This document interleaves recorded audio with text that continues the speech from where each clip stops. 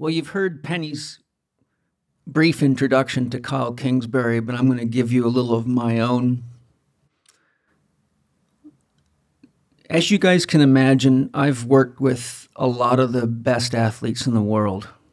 Some of them I can't mention due to secrecy contacts, contracts for various reasons, but many of them you'll have seen many times on television. Some of them have shoes named after them and all sorts of cool stuff. Many world record holders. Laird Hamilton is a longtime friend and client of mine. And of all the men I've ever related to and spent time with, I'd have to say Laird Hamilton is one of the strongest, most powerful personalities I've ever met. But Kyle Kingsbury can stand right next to him. If you've never met Kyle, he's a tall, very strong, good looking, full on alpha male. Yet, he hugs me and he kisses me, and I hug him and I kiss him because I just have deep, honest love and respect for him. And it's very exciting for me to be able to share him with you today. And what I want to do for all of you is take you on the hero's journey and let Kyle share his journey, his path to becoming a man and to engaging the hero's journey fully. And I know from my experience and time with Kyle that he has seen the dark edges of the caves. He has looked into the eyes of the devil. He's met himself. He was a professional cage fighter for many years. I've seen pictures of him with his eye just smashed shut, blood. He's had his jaw broken. He's, he, you know, and I'm, I'm a guy that grew up in a boxing ring. I fought on the third ranked amateur boxing team in the world. Uh, my sparring partner for many years was Lloyd Anderson, who was the world champion in kickboxing in 1986. And so I've been around badasses. This guy is a real fucking badass. But he's got a heart that's as big as his power reaches. Kyle, welcome to Living 4D. Fuck yeah. It's amazing to be here, brother. I love you. I love you, brother. So, Kyle, I really want to take people on a journey with you because you have really lived and you do really live and you have one of the most beautiful wives I've ever seen who's mm-hmm. intelligent and you guys have a beautiful child, and so you're a father. You understand the responsibilities of family. Um, you don't live in the you know the standard Christian marital box as as nor do I. So you're on the hero's journey there. Whenever we go outside of the box, you know, pioneers can always be seen by the arrows in their backs. And as we talked about in our previous episode together for your podcast, Great Minds. Great minds always meet violent opposition by mediocre minds, as Einstein said. So, what I want to do just to start us off is I'm going to outline the hero's journey for those that aren't familiar with the stages of it. now, for you listening, I'm going to give you a brief synopsis of each of the stages that I will then ask Kyle to expand on in his own experience as it relates to the stage, so you will actually learn the structure of the hero's journey that was created by Joseph Campbell quite some time ago. You can read his book, The Hero with a Thousand Faces, which is incredible and comprehensive. To really go deeper into the hero's journey if you want. But if we break the 12 stages that the hero's journey is often presented in into four phases, part one is called the call to adventure. It includes the ordinary world, the call to adventure, the refusal. Part two is the supreme ordeal or the initiation. There you meet the mentor or helper, you cross the threshold, You are tested. You find out who your allies and enemies are. Then you enter part three the unification and transformation. The stages there are the approach, the ordeal, and the reward. And then we go to part four the road back, the hero's return. And the stages of the road back, the atonement, and the return. So, Kyle, we're going to begin with part one the ordinary world. The synopsis of this stage is this is where the hero exists before his present story begins, oblivious to the adventures to come. It's his safe place, his everyday life, where we learn crucial details about our hero, his true nature, capabilities, and outlook on life. This anchors the hero as a human, just like you and me, and makes it easier for us to identify with him and hence later empathize with his plight. So, Kyle, to begin with, tell us who you were, about your family upbringing. What were some of the challenges in your development, Yeah. your parenting? Um, you know, who was Kyle before Kyle really even knew he was going to enter the hero's journey? Well, let's see. I grew up in the Bay Area in Northern California. Uh, I have one sister who's a year younger than me, and parents uh, stayed married till they were till I was thirteen. Then got a divorce, but lots of fighting in the house.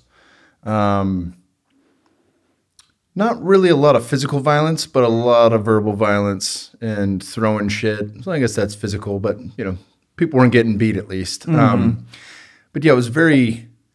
It was hard to to see that, to be a part of that, and also to see my sister take that on in a way. And uh, I'm deeply connected to my sister. We're very close in age and in spirit, but I think there was there was a lot to that. I also struggled in school as you did. Um, not so much academically. I did very well on tests. I just didn't fucking care for the work. I Yeah. didn't want to. I didn't want to learn it, so I wouldn't do homework. I would refuse book reports and various assignments and do whatever I could just to pass. And um, fought a lot growing up. I think that was really some of the most peaceful points in my life. And you know, reading books like Stealing Fire and The Rise of Superman and things like that, you realize like, oh, I was I was chasing a flow state. Mm-hmm. I didn't have fear of home. I didn't have fear of anything going on in that moment other than being 100% present.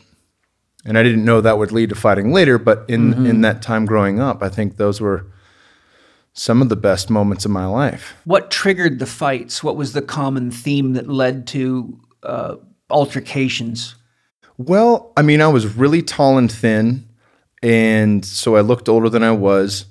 Um, believe it or not, my mom dressed me for quite some time, so I'd have a lot of older kids picking on me for the clothes that I wore, like "I'm gonna "fuck you up, preppy," you know. And, Yeah. and you know, the Bay Area, it's it's the Silicon Valley. People know it for Apple computers and places like that, but there's a lot of hard edges, you know, in different towns, even in some of the nicer places now that have come up. Uh, it wasn't all the, always that way when I was growing up. So a lot of kids would fight there, and um, yeah, it'd be pretty much be. I'd feel like I was backed into a corner, and that was the last option. Yeah. And there was plenty of times where I would just sprint and run away. you Yeah. know, if I if I was outnumbered or Fight or if I was going to lose, yeah, yeah. So no, I mean, plenty equal to as many fights as I was in, I was running. Mm-hmm. So, but very often I'd get the chance to square off with somebody, and those are beautiful experiences. I mean, they, they taught me a lot about myself, but also really it was my first taste of quiet mind. It was my first taste of Mm-hmm. inner stillness. Yeah. It's amazing how when you're facing a storm, it uh, it can have a centering effect on you. Uh, I don't think it does for everybody. I think some of us come with the equipment to deal with, you know, threats to our our sense of self, or threats to our physical well-being, or threats to our family. I remember, you know, my stepfather was a violent man, and um, there was times he was just beating my mother and blood coming out of her face from getting hit in the mouth or something and I was just a little boy, and me and my brother would just go full on at him with everything we could get our hands on, throw stuff at him. And, you know, this guy was, you know, about your size. He was an ex professional rodeo rider, 6'4, 220, and one mean, powerful son of a bitch. But there was something inside of me that was less concerned about my survival and more concerned about protecting my mother and sometimes my brothers and sisters. So, uh, my point is, I think some of us come equipped to deal with the uh, the intensity of combat, and some of us just go into freeze mode, and and you know, God bless whatever happens at that point. You either get eaten or the storm blows by, and you go, "Oh my God, I made it." So that sort of sets the stage, gives us a little bit about your your development. Um, one of the things I want to ask before we move forward is, how was your relationship with your father in your early years, your developmental years? It was uh, it wasn't good. I feared him. Um, there was a lot there. I mean, I, that, don't get me wrong. There was plenty of amazing experiences. One of the things that I love about my father, and I've, I've, you know, as we get into plant medicines later on in this talk, one of the things I saw when I had my first visions of my father was how much he played with us. Mm-hmm. He would fucking always play.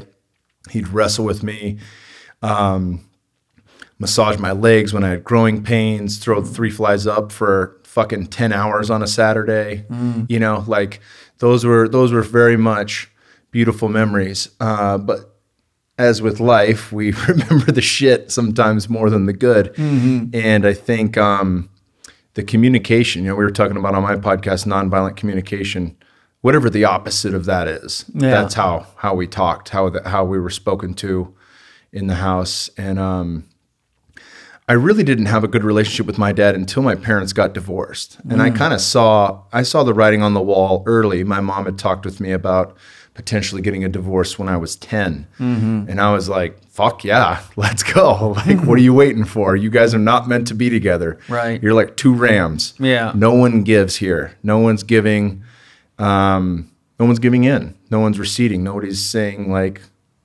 there's no apology, you know? Mm-hmm. Um, and so with that, finally my parents do get divorced and it's like a weight's lifted off my dad's shoulders. Mm-hmm. he doesn't have the stress of trying to hold the family together. He doesn't have the stress of trying to make it all work. He has a, an exact dollar amount he's got to pay her an exact dollar amount he's got to give for us and we get to see him often. Um, he got an apartment not far from us and my whole relationship dynamic changed with him at that point when i was 13 i think he really started to treat me more like a man and even though there was no rites of passage or coming of age ceremony, uh, we began to see eye to eye in a lot of ways and and have deeper conversations, you know. And I, I could feel that change. And that's, you know, it's funny because I was there was a lot of pushback with my mom at that point, and that's where her and I had uh, a lot of work to do because it's hard, very hard for a mom to raise two kids and really to, alone. You know, she has to take over the father role because he's yeah. not around. Yeah, and um, I think my dad, knowing he wasn't going to see us all the time, he disciplined me less because of that. He didn't want to have to have that role when we would see each other mm-hmm. um, on the lesser time scale that we did. My mom having to take that on, there was a lot of resistance on that part because I'm like, I don't, I didn't enjoy school. I didn't enjoy a lot of what life was bringing me. Mm-hmm. And there was a lot of resistance and pushback to authority. And certainly that was the case with my mom. So she probably got it worse in the teenage years than my dad did, but it allowed me to see like I can move forward. It's I'm not I'm not a victim of anything that happened when I was younger. I can create something new and I have created brand new relationships with both my parents. That's beautiful. Yeah. some of some people are as you know are not so fortunate. The the early rifts just get deeper and deeper um, I, I know for myself that getting to the point where I could forgive my father and realize that I couldn't have become the person that I am without the hard training he gave me. It was as though he was preparing me for and giving me the work ethic that I would have to have in order to accomplish the work that I've accomplished in my lifetime. And it was a big weight off my shoulder to come to the point where I could just see the beauty that I couldn't see before because it took a lot of anger out of me, mm-hmm. you know, so that was be- important. The second stage is the call to adventure. The hero's adventure begins when he receives the call to action, such as a direct threat to his safety, his family, his way of life, or to the peace of the community in which he lives. It may not be as dramatic as a gunshot, but simply a phone call or a conversation. But whatever the call is and however it manifests itself, it ultimately disrupts the comfort of the hero's ordinary world and presents a challenge or a quest that must be undertaken. When did the call to adventure come for you, and what was it? Well, it came.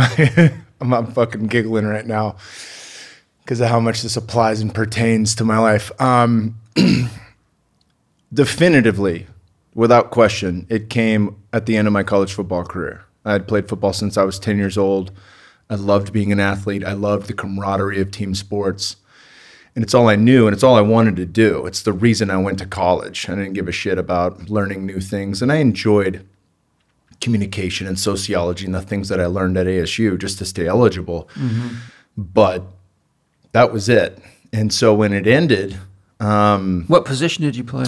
Defensive end and defensive tackle. Okay. And I was a lot bigger then. Um, like 268 was as big as I got. I'm about 216 right now. Nice and nice and svelte.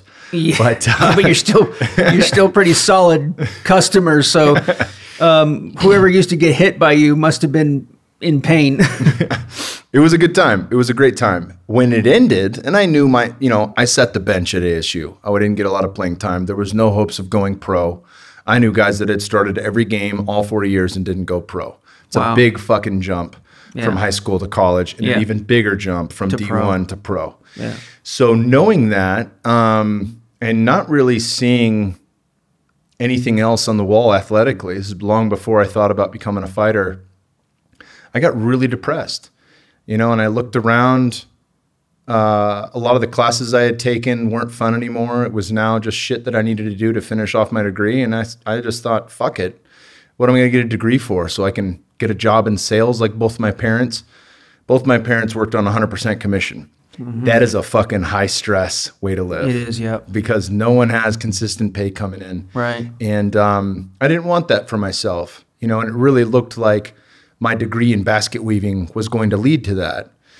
and I have no, this is, I'm not shitting on anyone in sales. People, there's, it can be something that's very fulfilling, you mm-hmm. know, and and very if you're if you're a driven person and you like that that chase and that fire, that's a great thing. But if you're I'm a fiery fucking person. I mean, I'll bet it would burn me alive. Yeah. So I saw the writing on the wall of what it meant to finish college and go into a job like that. I also at the time had partied a lot. Arizona State was the number one party school in the nation partying is a slang term used for cocaine and various other drugs. So, you know, at that time in my life, I was putting things in my body that were having a direct response on my mood, my emotional state, lack of sleep, you name it, all contributed to or or in in at the same time with a lack of drive, a lack of purpose, a lack of meaning, mm-hmm. and really seeing a future that I didn't want for myself uh, became extremely depressed, and it even came to the point where I attempted suicide. Really, I didn't know that. And I was going to say, you realize what you're describing right now is the situation for a massive amount of the males in our culture right now. Hmm. It really is. Yeah, yeah. So the the when you attempted suicide, what was the justification inside of yourself?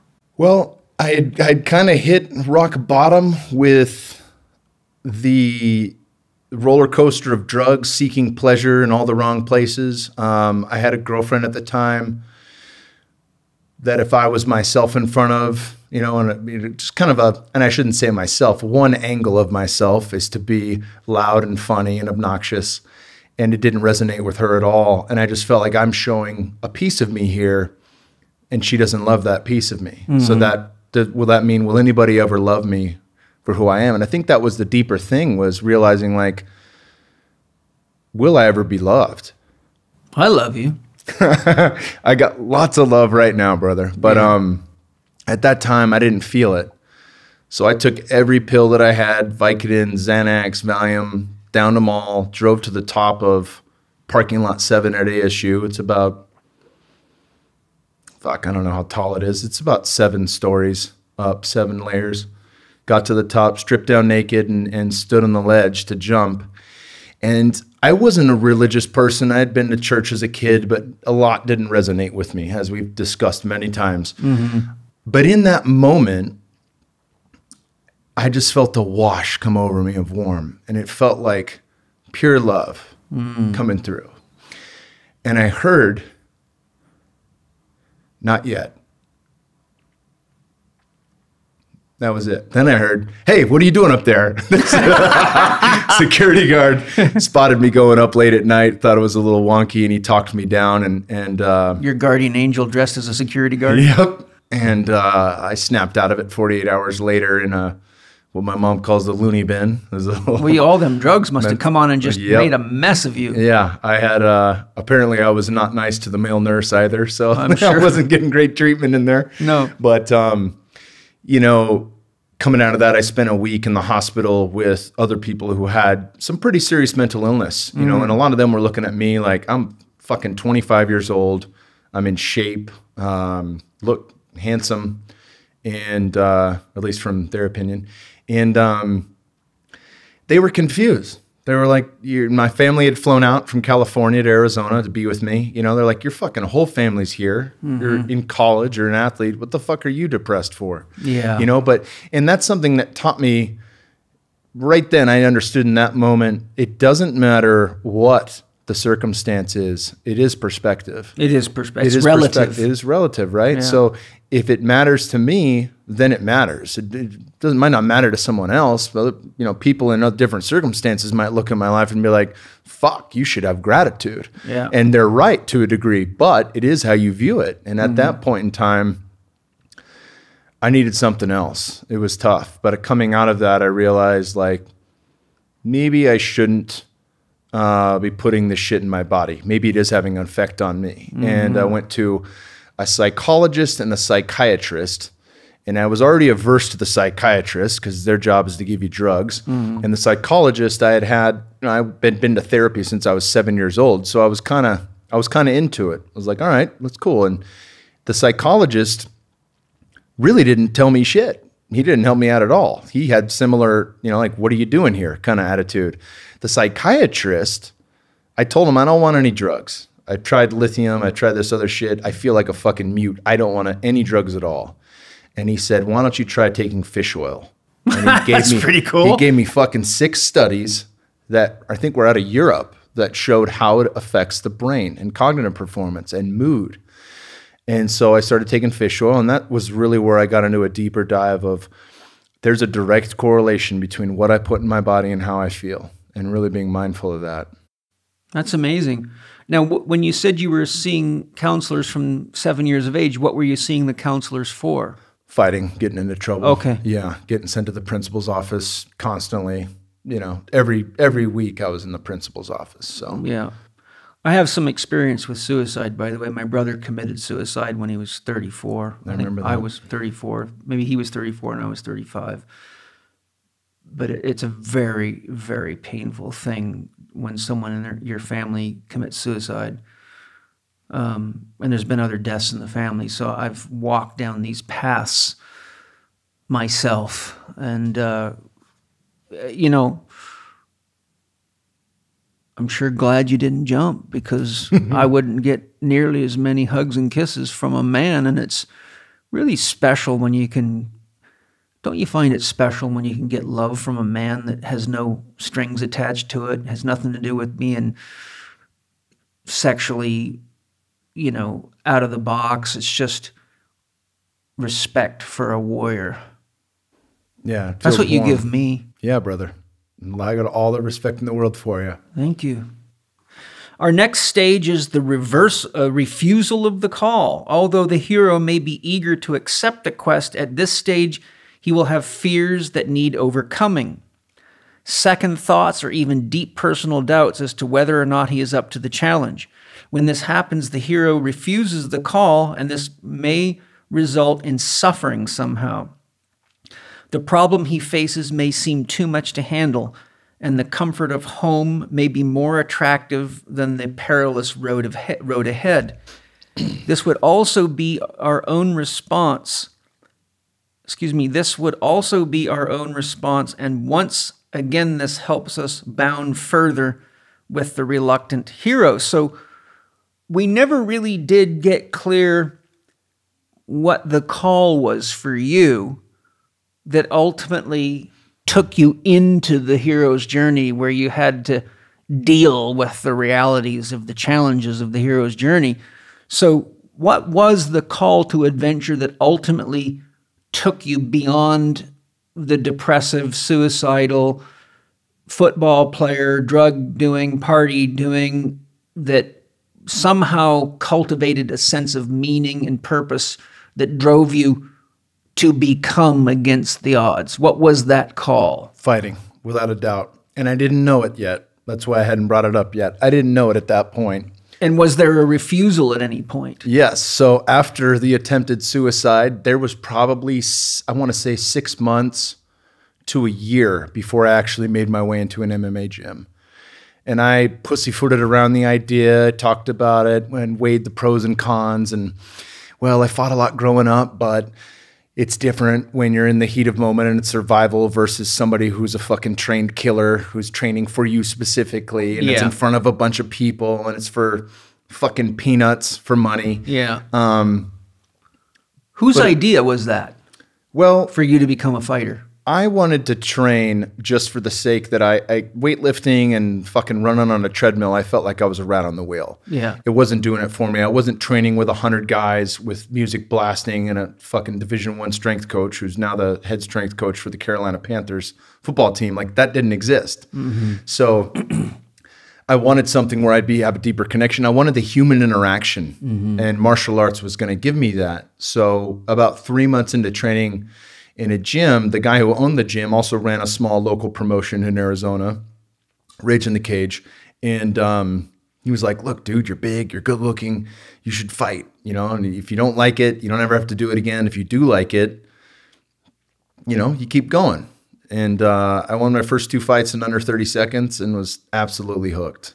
Uh oh. All right, let's I got the bait. yeah, let's start let's start training a little bit more then. Um, and it's it's it's amazing to tell this story because at that point I had a strength coach who you know he's, a, he's got a thick New York accent. He's like, "You fought a lot," mm-hmm. and I was like, "What?" He goes, "You fought a lot," and I was like, "I fart a lot." That's a fucking weird thing to say to a man. he's like, "No, I'm serious. You got an intolerance." And I was like, "I got an intolerance to what?" And he's like, "It's probably wheat." And so he fucking introduced me to you. We watched Flatten Your Abs Forever on VHS. Wow. And so I didn't realize this was part of your fighting training. This this came into the fight game and changed the way I viewed everything about what I put in my body, and also really planted the seed for me to want to learn. So I actually contributed to your fighting career. you contributed my whole life, brother. Oh my God, no wonder we kiss each other. So, you And know, how read, long ago course- was that? Fuck, this was 2006. Okay, yeah. So yeah, so I read How to Eat, Move, Be Healthy. I do all the questionnaires, and I fucking, of course, come out on the other side of that thing like, man, I got this, this, this, and this. I got candida. I got fucking gluten intolerance, and started cleaning stuff up. And from that point on, I it you know we talked about this on on the podcast we just did for Human Optimization Hour. Was that what Waldorf does for kids? Is it teaches them to love to learn. Yes. Right. So reading that book taught me, oh, this has a huge impact on how I feel, how I recover, fucking all of it, not just performance, which is really mm-hmm. what I was geared towards, but life in general. yes. And that made me want to learn more. So I've read more books in my fight career than I ever did in college and high school and prior to that, just Yeah. because there was this great test ahead of me. Yes. Every so often, somebody's going to try to kill me. yes. And the better, the more I can learn, the better I can be in recovery in all aspects, the more that's going to help me with this career. And so that that was the fire that got lit under my ass. You were the fire that lit under my ass to want to learn more and be the better version of myself. You know, I never really fully understood that till right now. Isn't it just to me it blows my mind when I talk to, you know, athletes like yourself and people around the world that tell me very similar stories. I've you know, JP Sears when he mm-hmm. first came to class with me a long time ago, 17 or more years ago now, told me in class, he said, you know, I was asking everyone to introduce themselves as I often do. And he, and he starts off by saying, Well, you know, I was in exercise and sports science in university and I hated it. It was boring as hell. And he said, So I started, a, a personal trainer turned me on to your scientific back and scientific core training. And he says, It was just so understandable and I could see the direct application.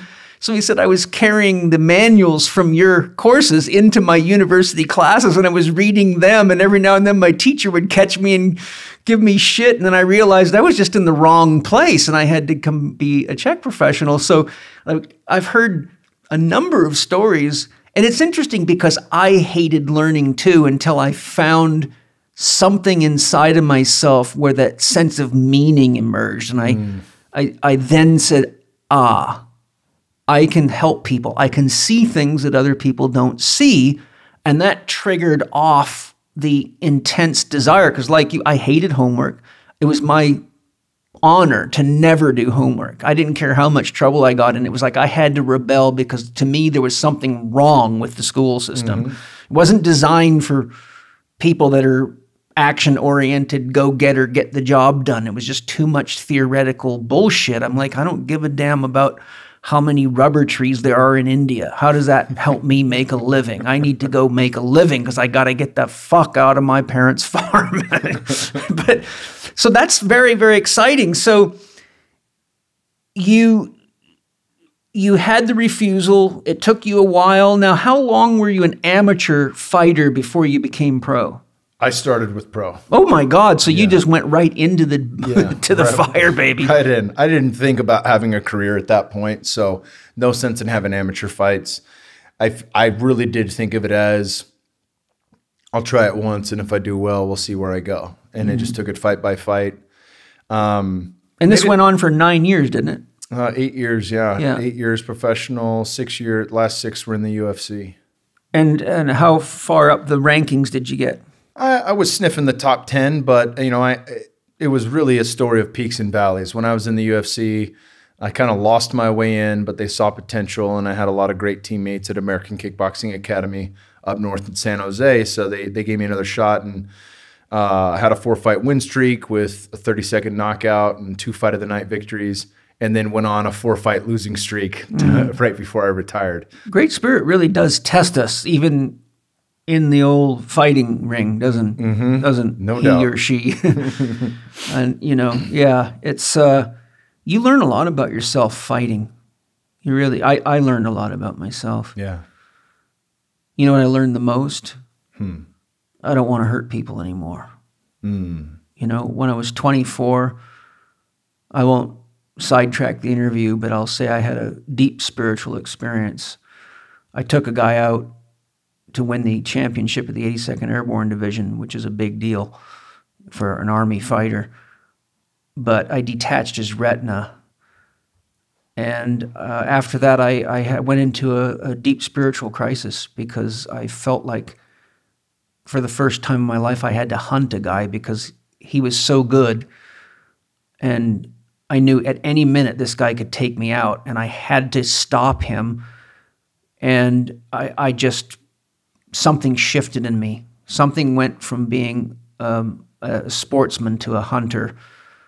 And when I damaged him, I remember when I hit him, it felt like my hand went right through his head, and it kind of freaked me out but then I realized something inside me, a switch flipped. And I remember sitting in the in the locker room crying for a good three hours, and all the team members were coming and congratulating me, and they couldn't. They were confused as to why I was crying, and um, I made a decision that day. I was never going to use my the power inside of me to harm people. I had to use it to help people, or something inside of me was going to break. I was not going to do well in the world. I just knew. So, all I'm really sharing from my own perspective, you learn a lot about yourself when you're fighting, and you know one of you may not come out of that square. This is not. This is not. Um, you know, going to the local gym with 16 ounce gloves. You know, people do not come out of there sometimes, or they come out forever damaged. And I've seen people be permanently damaged for sure. The next stage, number four, is meeting the mentor. At this crucial turning point where the hero desperately needs guidance and meets a mentor figure who gives him something he needs, or this is the crucial point at which he meets a mentor that gives him something he needs. He could be given an object of great importance, insight to the dilemma he faces, wise advice, practical training, or even self confidence. Whatever the mentor provides the hero with, it serves to dispel his doubts and fears and give him the strength and courage to begin his quest. Who were or was your mentor or mentors that gave you that missing piece or pieces to uh, give you the inner security that you could continue on the hero's journey? There was two. One I just mentioned, and this isn't to butter your nuts because we're on your podcast, but you were that. I'm, I'm still blown away by that. butter those nuts. My and nuts then, uh, are feeling good right now. um, the They're second, old. the second was my boxing coach, a man named Huitzi, who passed away a few years ago. Still has a tremendous in, impact on my life to this day. Um, he was Mexican and Native American. He would take me to the Native American reservation in Northern California for traditional sweat lodges. That's beautiful. And that's um, a mentor right there. Yeah, massive. You know, we would do that before every fight camp to kind of hone in and, and get our minds right, really focus in on what we want to accomplish in the camp and in the fight.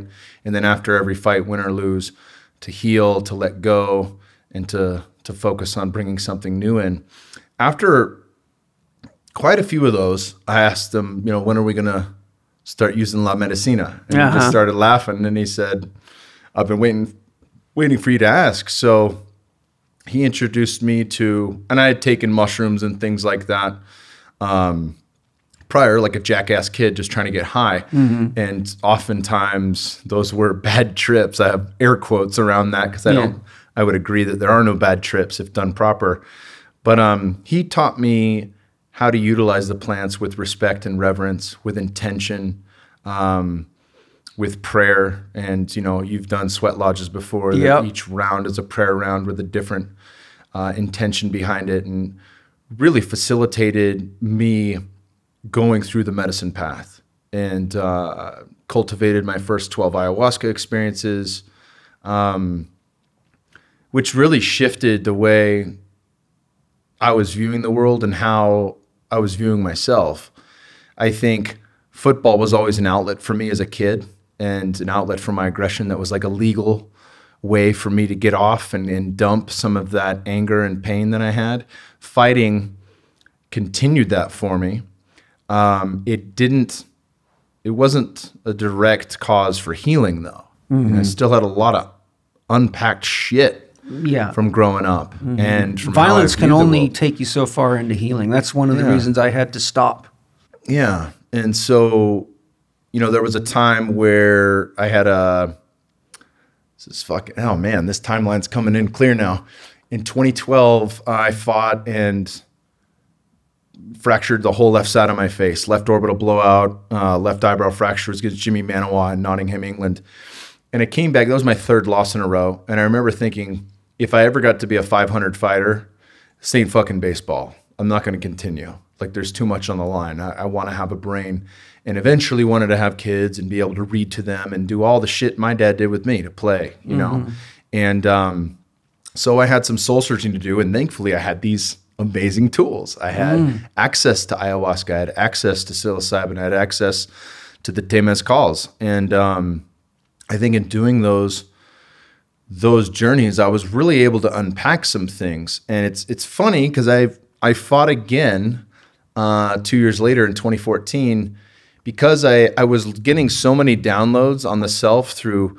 You know, I'd just taken HLC one in San Francisco. Wow. Angie, your wife, it was her first fucking time teaching. She's a great teacher. eh? Yeah, she's incredible. And um, it's funny because I pulled her aside in between one of the things. I was like, "Have you?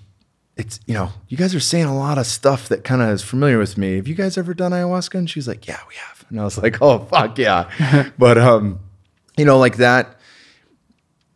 There was a time for me to have space necessary. And then what I wanted to do, I think the reason I fought again is because I wanted to test all this shit. Yeah. Fighting is the greatest test on earth. Yeah. Like you can know how to meditate, you can know how to quiet your mind, but can you do that when somebody's trying to knock you out? Yes, Right. exactly. So I wanted to put that on the line. And of course, as as uh, as fate would have it, I went out and got the shit kicked out of me in my last fight with my tail in between my legs. I, I left the sport. And I did an ayahuasca ceremony immediately following, asking why the fuck did I need that?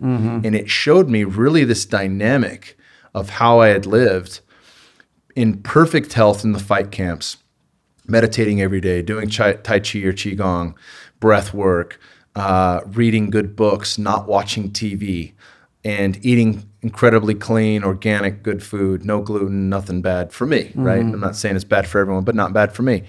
And then after the fight, now I'd been a good boy for eight weeks. It's party time. So I'd still celebrate with bad drugs. I'd still celebrate with shitty food. And I'd still go back to watching garbage television.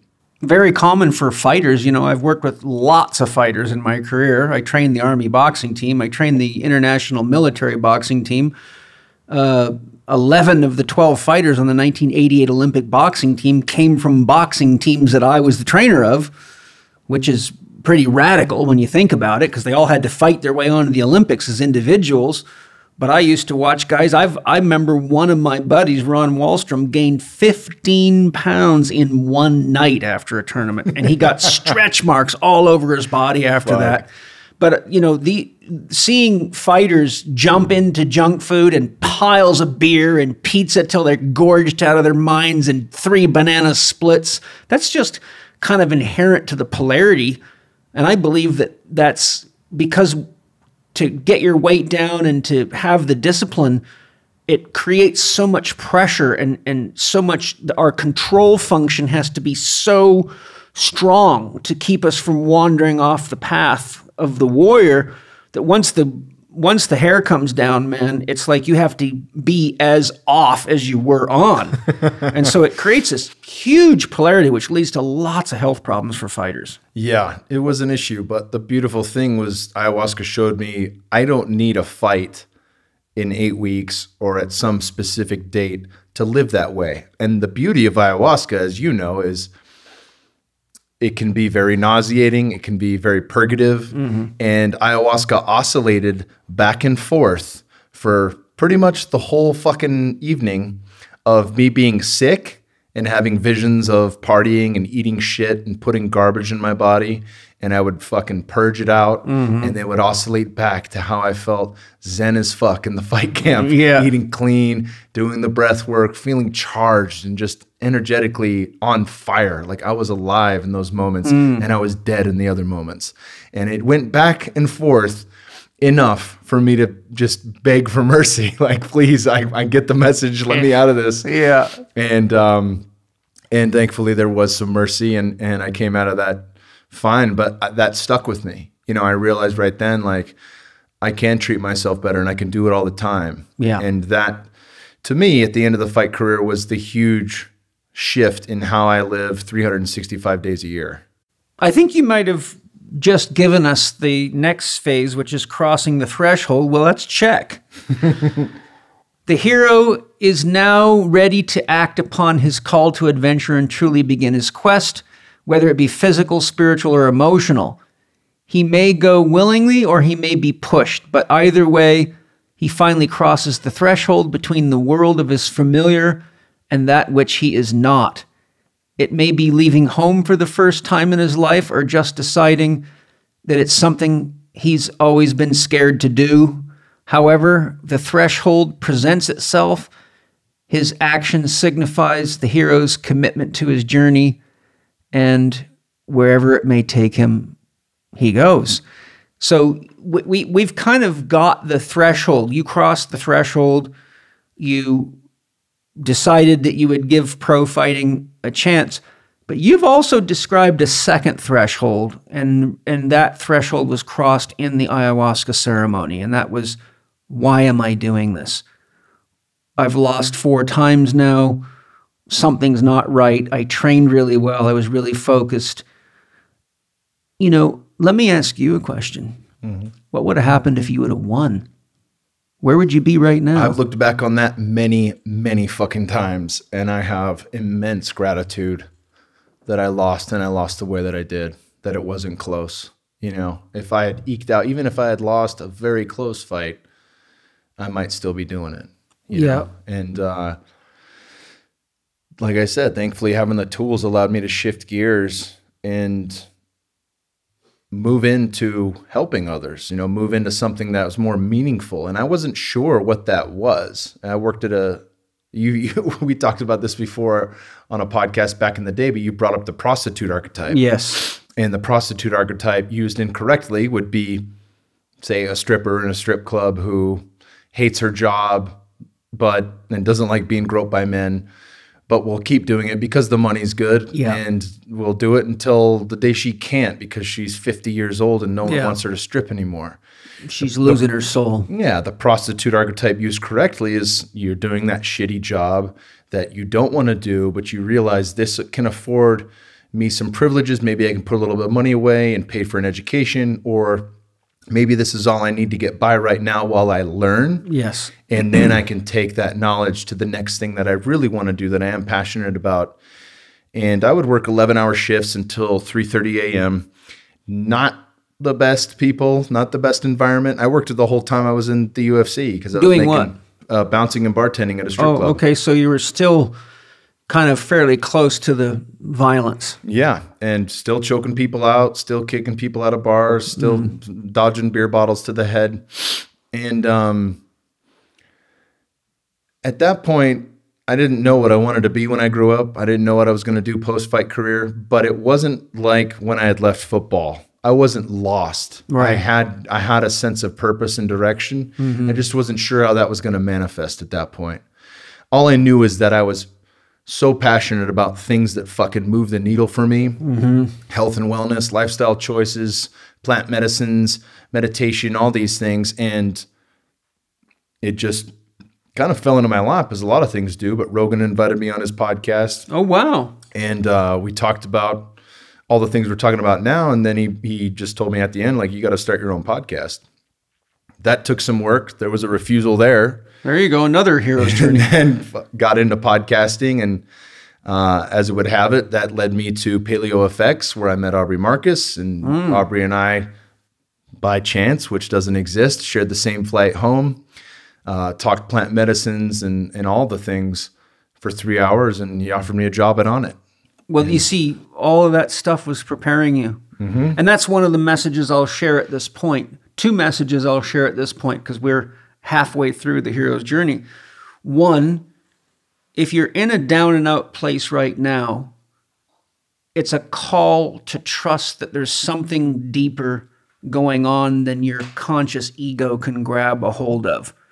Haven't you ever looked back at your life and all of a sudden realized there was some kind of a golden thread connecting all these events together?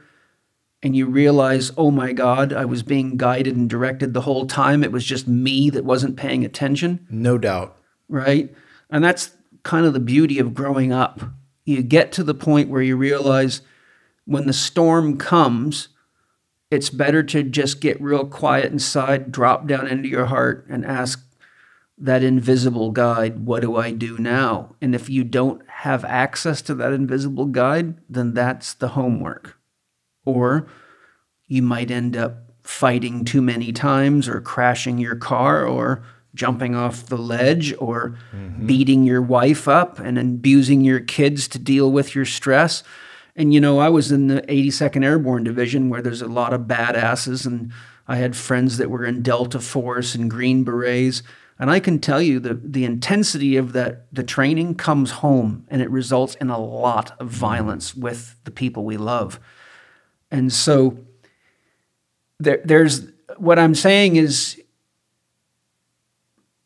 for everyone listening, we are brought to an impasse so we will learn to listen to that which is bigger than us, but is really the bigger truth of us.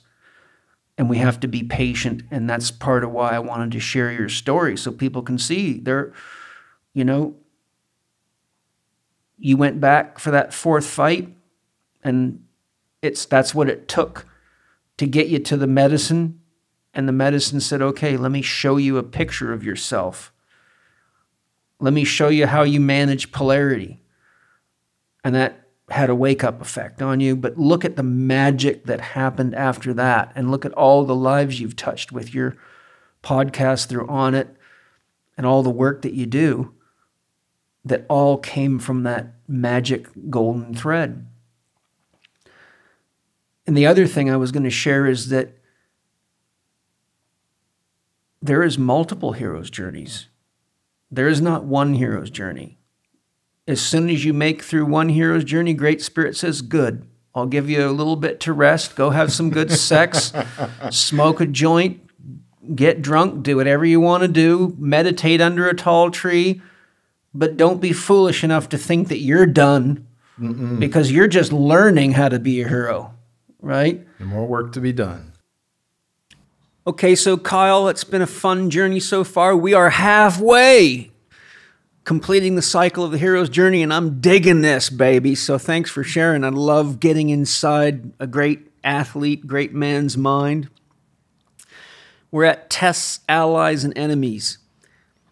Now, finally out of his comfort zone, the hero is confronted with an ever more difficult series of challenges that test him in a variety of ways. Obstacles are thrown across his path. Whether they be physical hurdles or people bent on thwarting his progress, the hero must overcome each challenge he is presented on the journey towards his ultimate goal. The hero now needs to find out who can be trusted and who can't. He may earn allies and meet enemies who will, each in their own way, help prepare him for the greater ordeals to come. This is the stage where his skills and or powers are tested and every ob- obstacle he faces helps us gain a deeper insight into his character and ultimately identify him with him even more. Tell us about the tests, the allies, and the enemies. We've heard about some of the tests. We've heard about a couple of the allies. Is there more tests, and who are some of the enemies, and what kind of challenges did they give you? Well, here we are. And I'm not just talking about guys in the fighting ring. I Those, know. Those were I, I know. those were the ones That you wasn't knew that about. wasn't shit. Those are the Uh, ones you expected. You know, it's funny because sometimes we actively choose to call things upon us, right? Like, I mean, even just doing ayahuasca, there's a certain level of uncertainty and entering into the unknown that takes some balls. Even as a lady, it takes some balls. You got to get in there. And um, You're fearing, you're facing the unknown. You have Yes. no way to control it. Exactly. So, but but we do that knowing, and I do that knowing that there's a great potential for growth Yes. in that. Um, so learning about those things first, then trying them and gaining the knowledge and wisdom that I have from them and the healing that has accompanied that. Makes me want to continue to do that work, and I have, along with my wife. Uh, one of the messages that I received in in plant ceremonies, I actually received it first in ayahuasca and received it again in um, in psilocybin mushrooms about a year ago, was to do an open relationship, and I understood this conceptually. I had read about it in books. Uh, Sex at Dawn was an incredibly powerful book that my wife and I read. Um, and got a very clear message. It seemed, you know, having a child, that probably wouldn't be the best thing to do while parenting. Uh, but that was not the message I got a year ago with psilocybin. The message was, you will grow from this and you will be better people, better partners, and better parents because of it, because of that growth, because of that healing and unpacking. And knowing that, you know, we started probably four months ago. And so we're, we're pretty young in it. And I've only recently started speaking about it because fuck, there's a lot to unpack with that. There it's is not, a lot of surprises, and, and and though you said you will grow from it and learn from it, uh, as a guy who's been on this path for 22 years, I've been when when I met Penny. I was very honest with her and said, Look, I was married to a woman for 17 years in a monogamous relationship, and it did not work for either of us. It caused a lot of pain, a lot of stress, a lot of emotion, ultimately led to infidelities based on our agreement that hurt us both, that took a lot to reconcile inside of myself. And I've seen many relationships destroyed with multiple partner attempts. Um, I've seen people just go sideways. It can trigger off drug use, it can trigger off uh, very damaging situations for the children that exist in the initial relationship.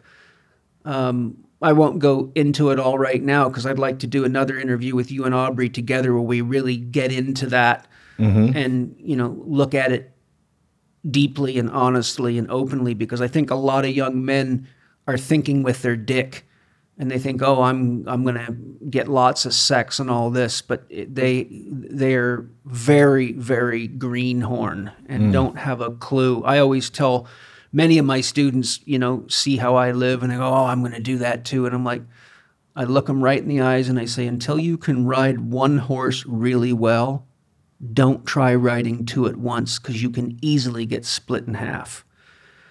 And the thing that people often forget is you might like two women or three, but will they like each other? And your life isn't shitty until you have two women that don't like each other in the same fucking house. so, uh, you, you, know, tell me more uh, about the tests, the allies, and the enemies, but I also want to hear about some of the uh, allies and enemies that thwarted your progress up to and including what we've covered so far because we never really got into the where was the resistance coming from? For for a lot of fighters it's their family like you're stupid. Why are you beating on people? Why are you getting hit in the head like that? You know they don't see um, combat sports as intelligent means of engaging they can understand football because it's part of our culture but when when people close to you hear that you're fighting, it usually they start telling you about you're going to get your brain ruined, and there's so there's a lot of uh, resistance. So I'm sure you got some of that yourself, but uh, don't let me interrupt your flow. I just wanted to interject because a lot of young people hear this and they get the wrong idea in their head. So if you really want to learn about this, wait for when Kyle Aubrey and I get into this full on so you can get a real education. And you are right uh, multiple partner relationships are a rapid spiritual evolution process if you can stay in the game, or they can be rapid trips to the edge of the wall that you once stood on. No doubt. no doubt. There's wisdom already. yeah, brother. Um, yeah, we don't need to dive too deep into that yet. We'll save that with Aubrey. But um, that certainly has been the most recent test, and it's it's funny because uh, you know we had spoken about it for several years, and a lot of triggers came up with jealousy and and reasoning behind it, but eventually coming to a place of understanding our why, yeah, and wanting to have more than one meaningful relationship that not only impacts our lives positively but our partners' lives. You yeah. know, me having another brother, her having another sister, our our son and children to come to have more aunties and uncles, to have more people that care about them. Mm-hmm. And right now, we've really cultivated that. We're really in a space where I've continue to learn about myself because all fear, all jealousy, all anxiety, all of these things are my work. And as I've done the work in my own realization of who I am and what I bring to the table and what kind of person I am, and also my own realization of trust in the relationship, trust in my wife, belief Yeah. in us as a family Yeah. knowing that I'm a great father and a great husband and a great lover, mm-hmm. That really solidifies the ground that I stand on and allows me a certain degree of appreciation for what we have. You know, she chooses me actively and I choose her actively. And not no because of some contract we signed. Yeah, there's no question that either of you have plenty of menu options. Uh, I mean, a lot of you will be listening to this, so you won't be able to see Kyle, but he's a Greek fucking god. I mean, this guy standing before you with not much clothes on, I'm a very heterosexual male. And I said to him one day when we were together, I tell you what, if I was a girl, I would just rape you right now. I just, I would run, jump, and fuck your brains out because he's a big, handsome fucking stud, bar none, and his wife is a stone cold fox. She's just gorgeous. That's just the fact. So your wife let loose in a room full of men won't last nine seconds, and you let loose anywhere you want to go won't last nine seconds before somebody wants to drain your main vein and all the other good stuff. So. Hopefully, I last longer than nine seconds in the bedroom. Well, yeah, I, I, yeah, yeah, I, yeah. I meant on the on the menu as an open item, but uh, uh, you know, tell me, tell us a little more about some of the challenges you had with, you know, Well, I think the, allies and the enemies. Yeah. you know, what do you had to the work real through? the real challenges were first and foremost what I thought of myself. That's that, always that the came up. That came up in fighting, self confidence, belief Yeah. in myself. Um, there wasn't too much resistance from my family. You know, Mm-hmm. my parents came and watched me fight. Uh, my mom didn't enjoy seeing me get my ass kicked, as any mom would, but I had a lot of support Mm-hmm. there. Um, really, the big struggle was really getting paid table scraps. I mean, we lived in my mom's garage for fucking five years while I was while I was in the UFC fighting on TV. Wow, that's and, um, tough going. Yeah, You know, working part time, 25, 30 hours a week up till 3:30 in the morning, Friday, Saturday, Sunday night, just so I can put food on the table in between fights. And um, not exactly the four doctor plan. Nope, not at all. Yeah, especially the more I was learning about health and wellness and the importance of sleep and like, Dr. Quiet. What am I was doing like, to myself? Fuck, I don't know if this is worth it. but um, you know, thinking about those things, the resistance came really with uh, the financial discrepancy from what the UFC actually pays their fighters compared to how much they make. Yes, that's sad. Um, you know, and then then the struggle of the environments I was in. You know, I, I the thing I was doing that I loved was not putting food on the table, and the thing that was putting food on the table I didn't love. I didn't love being in that environment in a strip club. Yeah. Uh, there was things I appreciated about it. I certainly appreciated the girls for putting up with horny ass dudes. I appreciated the horny ass dudes for coming in and putting food on the table for me and for the girls. yeah. Um, so I have gratitude for the experience, but it's not a fucking great environment, you know. So that was really where my resistance was, and I think the catalyst to want something better, to want to provide for my family, to want to stand on my own two feet, you know, not to be half suckling off mom's teat and in her detached garage, but to have a house of our own, to have a career, to have all the things that we have today. Um, allies, Aubrey Marcus, for fucking damn sure. Yeah. You know, Good. my best friend, uh, somebody who's really lifted me up and put me on a stage to be heard. Thank you, Aubrey. Yeah, many thank yous, many thank yous to Aubrey. Um, Joe Rogan too. He took, you know, he's he's had many fighters on before, but um, yeah, he was really the first big break in terms of uh, you know having an ally that would give me a stage to speak on, and that you know really planted the seed moving forward for for me podcasting, for me having a voice to share with the world. Uh, as far as the enemies, the only enemy that I've had in the past year and a half has been my own mind. It's been my own fear and negativity. That's where I wanted to, to take you next. And I'm going to preface this by sharing an observation I made. When I had my experience that I talked about earlier, where I realized I had to take the gloves off and, and stop using violence as a tool to prove to myself the things I was trying to prove to myself, I looked at what it was that drove me to fight from the very beginning. And it was my father's violence, and it was the fear that he might kill one of us. I mean, there was broken bones in our house. There was blood. There was things that I don't even want to talk about that were just downright fucking scary that took me about a hundred ceremonies to heal. Um, stuff I would never wish on anybody. And I remember being a kid telling myself, I'm going to do whatever I have to do to get strong enough to kick this man's ass and teach him to stop beating on us. And so after I went through that spiritual crisis um, in the boxing ring, I just had to ask the fighters. There was 30 of us on the army boxing team and I was the trainer at the time. I was also fighting, but I was the trainer of the team as well. And so once I came to this kind of clarity, I, I started our training session. I said, I want all of you to get in a circle. And we had a big wrestling mat, a proper wrestling mat with the circle painted on it. We used to use for a lot of different exercises.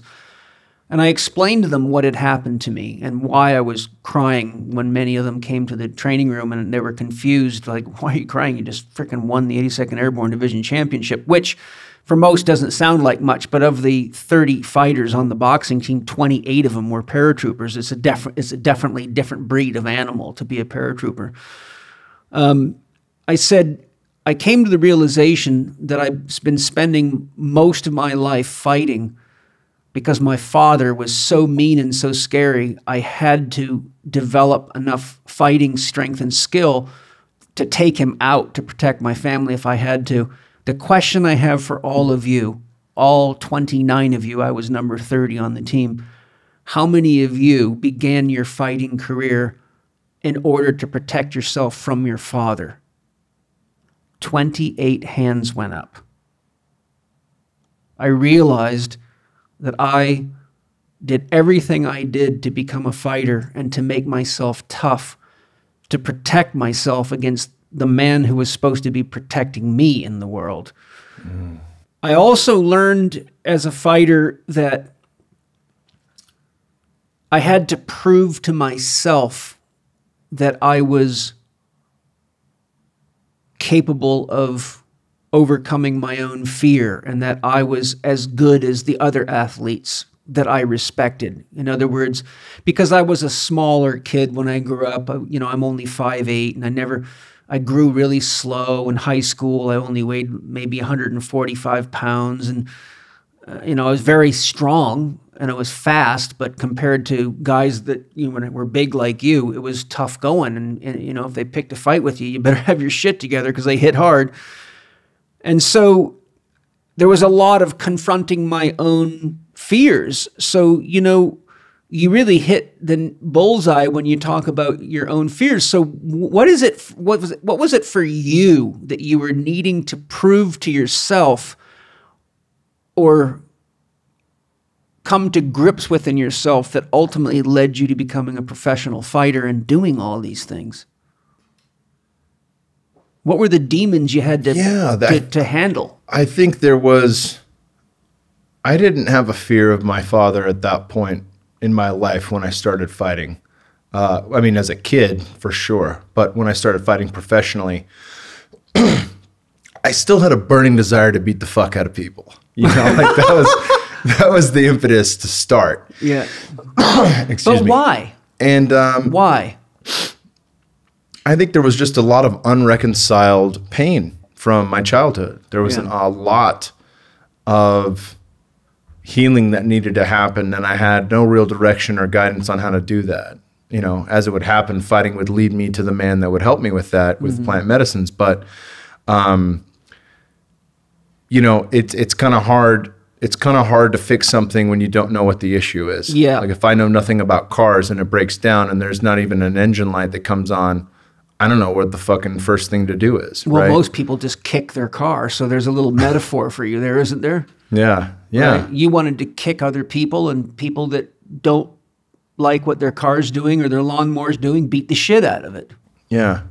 Yeah, I think I think a lot of it came down to me forgiving and this this happened, you know, over the course of many ayahuasca sessions, but forgiving my parents, realizing when I had a son three and a half years ago, looked at my wife and I said, I I'm a kid raising a kid.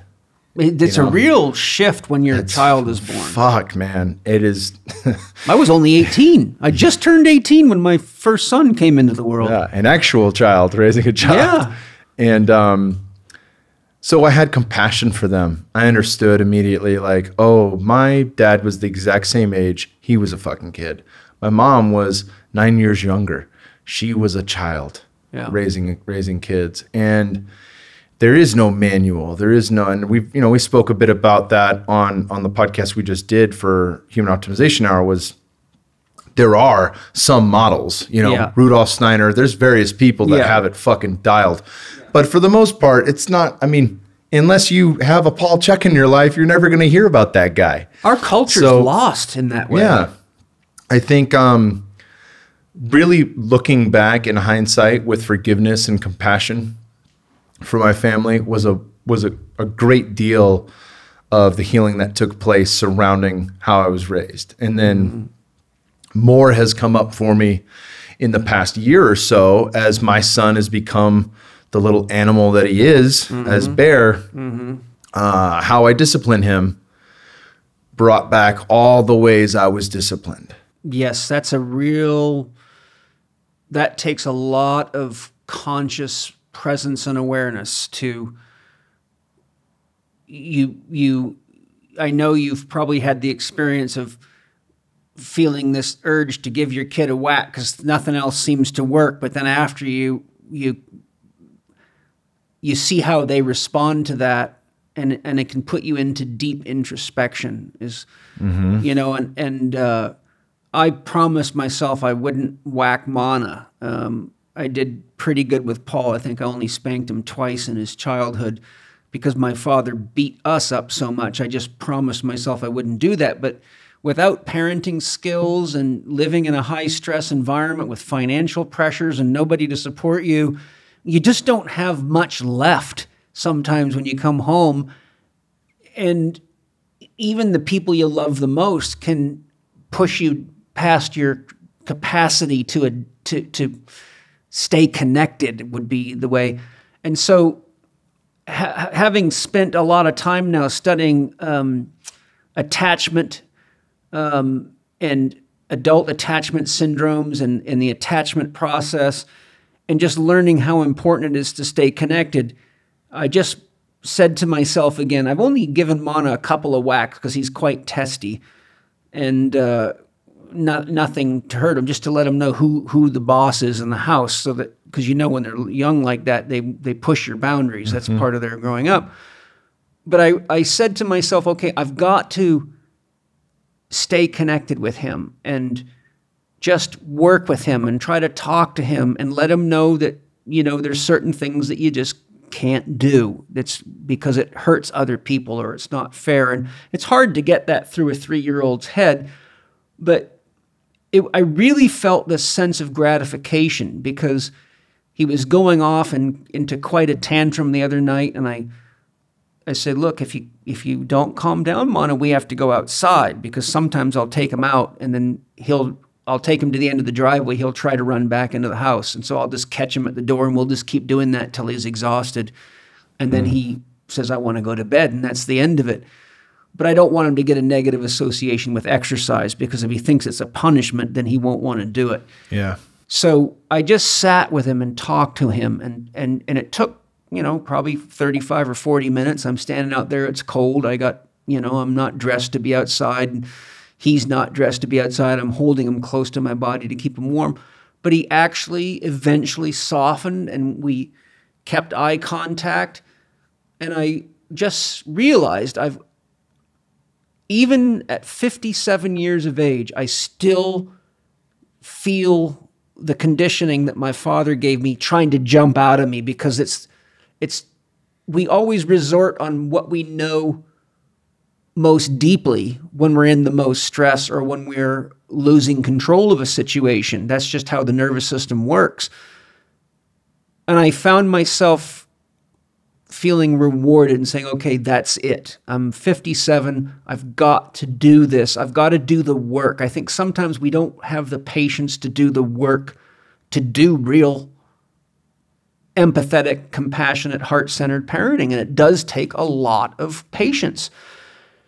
Uh, you know, so you're learning these things. Um, you're, you're making your way through all this, you you've learned a lot from the medicines. You learned a lot from the battles. Uh, it's interesting you didn't have that many enemies along the way, especially in the fight game, because my experience, like we were talking about on uh, on a break, is that I was the only white guy on an all black and uh, boxing team with some Mexicans and Puerto Ricans, and everybody on my team was my enemy because of the color of my skin. I had never really experienced racism like that. And it was hard going mentally and emotionally to have the guys that you're supposed to be on a team with just hating you and wanting to get rid of you. But it's it's amazing to me that you your path didn't take you into much of that, it seems. Well, I mean, you could call Dana White the enemy for paying the guys table scraps, but at the same time, if I was paid well, maybe I'd still be doing it. That's probably you know? true. Yeah. So, um, and maybe there were some enemies in the bar and the environment that I was in, but you know, I don't think I don't think there was too much there. If I really think about it, the the biggest enemy I ever had was myself. And I think, isn't it? Don't you think at this time in your life, how old are you now? Thirty nine. Thirty six. Thirty six haven't you looked around and noticed that's about the case with almost everybody? Yeah. I mean, that's that's why Jung's whole depth psychology process is based on one key principle individuation, which means to become a whole individual in and of yourself. And to do that, you must confront your shadow. Mm. You must confront your parental programming. You must confront the parts of yourself you deny. And Jung makes it very clear Adolf Hitler lives in you, the pedophile lives in you, the rapist, the murderer, the thief. Everything that we project outside of ourselves and call bad or call evil lives right inside of us. And until we can find those in us, we're playing a very dangerous game with ourselves because we project that unconsciously onto others and, and crucify them. And it's um, to to become an individual in Jungian psychology means to become whole. It doesn't mean that you act that stuff out. It means you acknowledge it, and that's one of the things that I think you would agree that that plant properly run plant ceremonial medicine circles and and healing ceremonies they introduce you to those parts of yourself. You you can meet the darkness and most people call that a bad trip but they don't realize the drug's not putting that in your head. Real psychedelic medicines amplify everything hiding inside you. They just turn the volume up so you can hear everything that you're denying in yourself. All is revealed. All is revealed. Uh, and and it it can be hotter than a firewalk um, and it requires those of you who are listening, don't be foolish enough to think you're just going to run out and buy a bunch of mushrooms or some LSD because you can end up doing very, very stupid things and getting yourself in a lot of trouble. That's why people like me spend years of training and studying to become a medicine man, spirit guide, a shaman, uh, a journey leader. It requires skilled guidance because people do very dumb and very dangerous things on those medicines, especially in groups. But to finish my point, Jung's philosophy is until we are whole, we cannot guide anyone else to wholeness. Mm. And to be an elder, to be a leader, in a native culture, you would be an elder now, right? You wouldn't be a young man in the workforce. You'd be old enough that you probably might not want to go out and fight wars. You would be more valuable educating the young people and imparting wisdom to the tribe. And that's what the purpose of Living 4D with Paul Chek is. Is that's what this podcast is about, is imparting wisdom to the, the people in the world who can gain from anything that we're sharing. And when you reach that place of individuation, which in, in another way of saying is what in modern parlance it's called enlightenment, but that word's been just tortured to death. Hmm. But one who is whole is enlightened. Drugs or no drugs, you know, because the journey to wholeness is probably the toughest journey we'll ever make. And that's what all this discussion is, isn't it? Yeah, brother. Every, every bit of this is about Kyle becoming whole. And then having that centeredness, you can look a young man in the eyes and tell him whether it's wise or not to get into a ring and find out what his motives are very quick. You can tell when someone's doing stupid things with drugs, alcohol, women, sex, money, because you've seen it all and lived through a lot of it yourself. And I think that the key point is the biggest challenge we have is inside of ourselves but it's easy to blame it on everybody else. My daddy did this, my mommy, poor me. And the victim archetype just sings and dances until all of a sudden you wake up one day and you're 40 or you're 50 and you go, What the hell did I just do? I just pissed my life away and blamed it on my mommy and daddy, and they haven't even been here for 25 or 30 years.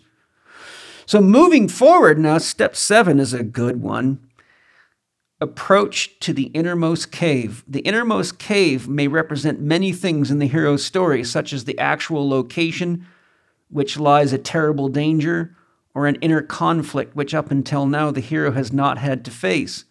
As the hero approaches the cave, he must make the final preparations before taking that final leap into the great unknown.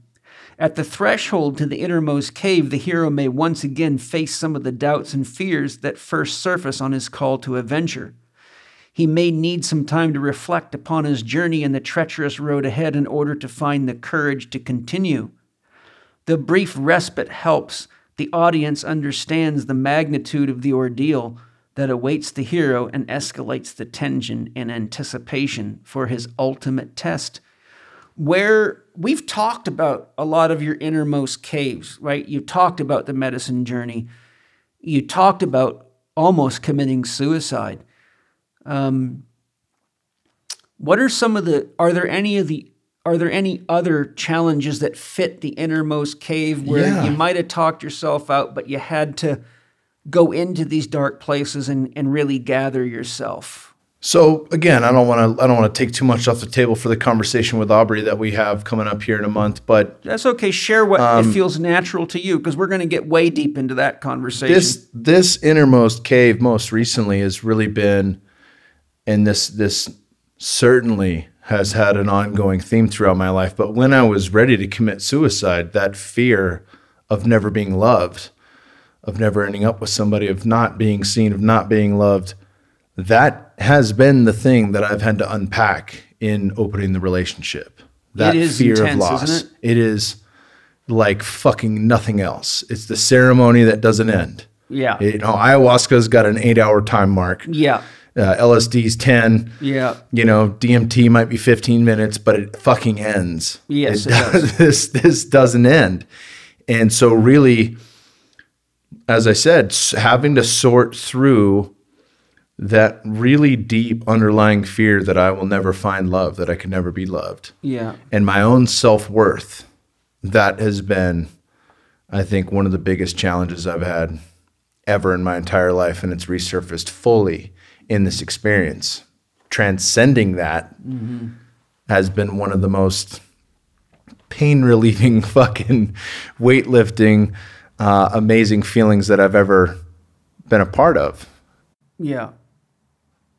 There's lots I would love to share right now because I would like to just. and I could see you fucking chomping at the bit. Let me tell you, man, I have a razor sharp axe ready to split that open, but I'm going to save it because okay. we're going to do we're going to do surgery on this whole thing because I've spent 22 years on this path, mm-hmm. and it's taken me in all sorts of interesting places in myself, and been the source of a lot of deep meditation and conversations with God, my soul, and the door on the sauna, and every other damn thing.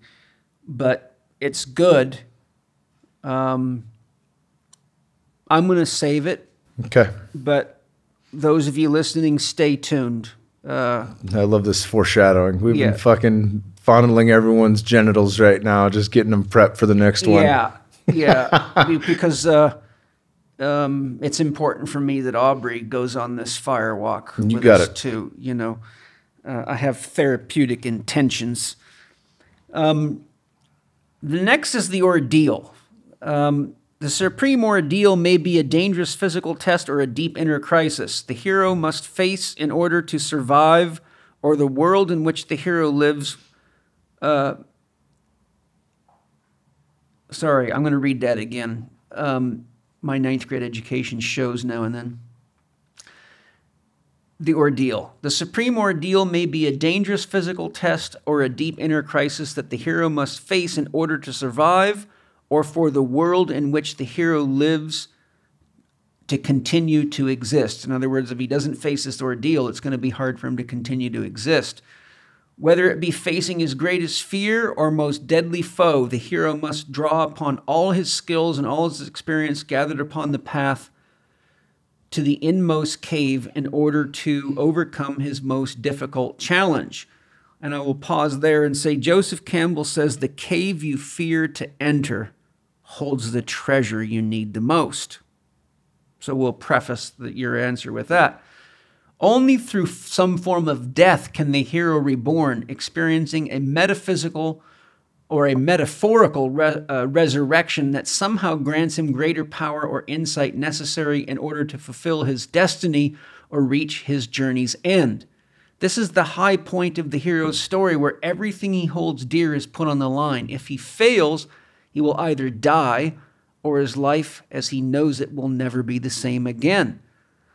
Now, we have talked about several ordeals, the most current one being this transition into multiple partner relationships. You've talked about the ordeal of really overcoming your own shadow, right? Your own mm-hmm. fears, which I would also point out and this isn't talked about so much in a lot of the kind of fluffy new age shadow stuff out there. What we call our shadow is not just our shadow, it is our parents' shadow, it is our society's shadow, it is our religious affiliation shadow, it is our cultural shadow, and it is the shadow of people across the world throughout time. And myths are chock a block with this stuff. So I'm saying that what I'm really saying is that what Kyle had to face is in all of us in some way, shape, or form. It might be a slightly different manifestation. It's different for a woman sometimes. It's different from uh, you know different regions of the world. But at the at the bare, very core of it, we're all having to deal with the weight of being human. And there there's and and a human being's kind of in a predicament because we have an animal body. Our bodies are built on the platform that's clearly outlined. If you study comparative anatomy, evolutionary biology, I mean, anybody that doesn't agree that we human beings are in animal bodies is just purely uneducated or so dogmatic that they can't even look at the truth. But within us, the human being, with its the size of brain to body mass it has and the capacity of the, the uh, prefrontal cortex and the neocortex to go beyond traditional animal instinctual living, um, it brings us into a situation where we become conscious at some point that there's something beyond us within us, thus, the awareness that something's guiding us along, that's there but invisible call it what you will. Um, there, I've studied the history of God, and one of the things that comes up in the study of when did people start coming to this concept of God one of the proposals that I thought was quite good that I studied was that there came a time in our evolution when we killed another human being, but realized we didn't have to do it. And all of a sudden became aware that we had an option not to kill, but saw ourselves doing it anyhow. And all of a sudden realized that we don't have to act out the animal urge to defend or to kill but we that there is something else inside of us witnessing this mm. and that was the theory that led to say that something else witnessing what we're normally trapped in as unconscious animal behavior brings us aware and our brain structures are powerful enough to give us this top down view of ourselves have you had that experience of of seeing yourself in the moment doing things and saying, I'm doing this and I don't know why I'm doing it because I know I shouldn't be doing it? Yeah, I've done, I mean, I've had the, I don't know why I'm doing this and I shouldn't be doing this, and yet I am. I've done that with food, I've done that with bad drugs, I've done that. Uh, with sexual partners that I had no interest in staying with or having anything, any type of meaningful relationship with. Um, and I've also seen that on the flip side. You know, I've, I have felt like I'm in a place like, man, I'm not sure how I got here or why I'm here, but it feels right. Mm-hmm. You know, it mm-hmm. feels like, like if I can listen to that inner voice and drop in, then I can be guided to what's next. Mm-hmm. And whatever that is, that's whatever the work that needs to be done that's the work of the day whatever's right in front of me yeah and i think it's easier for me to wrap my head around that if i'm listening mm-hmm. So that's one the, of the secret isn't it that is the secret one of the things you talked about in this section was you know what what are the tools that you rely on to dig your way out Mm-hmm. And I've had to rely on every single tool I have, many of which come from you Qigong, hey. the zone exercises, Tai Chi, walking meditations, yeah. uh, breath work. Yeah. All those things allow me to center myself because sitting still while you're under a lot of stress, it's hard. Yeah, that's fucking hard, right? Yeah, Especially not, if I'm not. We're not from the Oriental culture. yeah, we're not subservient that way. Yeah, so I think if and, and just physically having like if there's fucking stored emotion in my body, and there is, I need to physically express that. Yeah, and it needs to be done in a way that's life affirming, life building, working in, not working out, right? I'm not, I have got my energy expenditure down to a science. I know how to train mm-hmm. without overdoing it, but do I know how to build? So I think really leaning heavily on all the tools from what I just mentioned to plant medicines to even microdosing, mm-hmm. um, not on a hedonic calendar as they describe in Stealing Fire, where I have a fucking calendar list of every day that I'm going to do medicine. But yeah. really, when I feel called to it, being able to lean on those things and gain perspective, to gain new insight, to gain the wisdom. Using flotation tanks to yeah, really drop in, uh, just that, that, fucking I, amazing. I think that's the where people should start before they get into psychedelics. Myself, for sure. Well, that's and that's the whole thing is, can I sit with myself? Yes, that's you it. Know, that the fucking from all the young age, from getting into pot and booze and coke and all these things, it because I didn't feel comfortable in my own skin. Yes, remember that's right? one of the key questions a shaman asks. When did you stop being comfortable being alone with yourself? Mm. When you know, I want to ask this question again in a different angle. Maybe I can pull an answer out of you.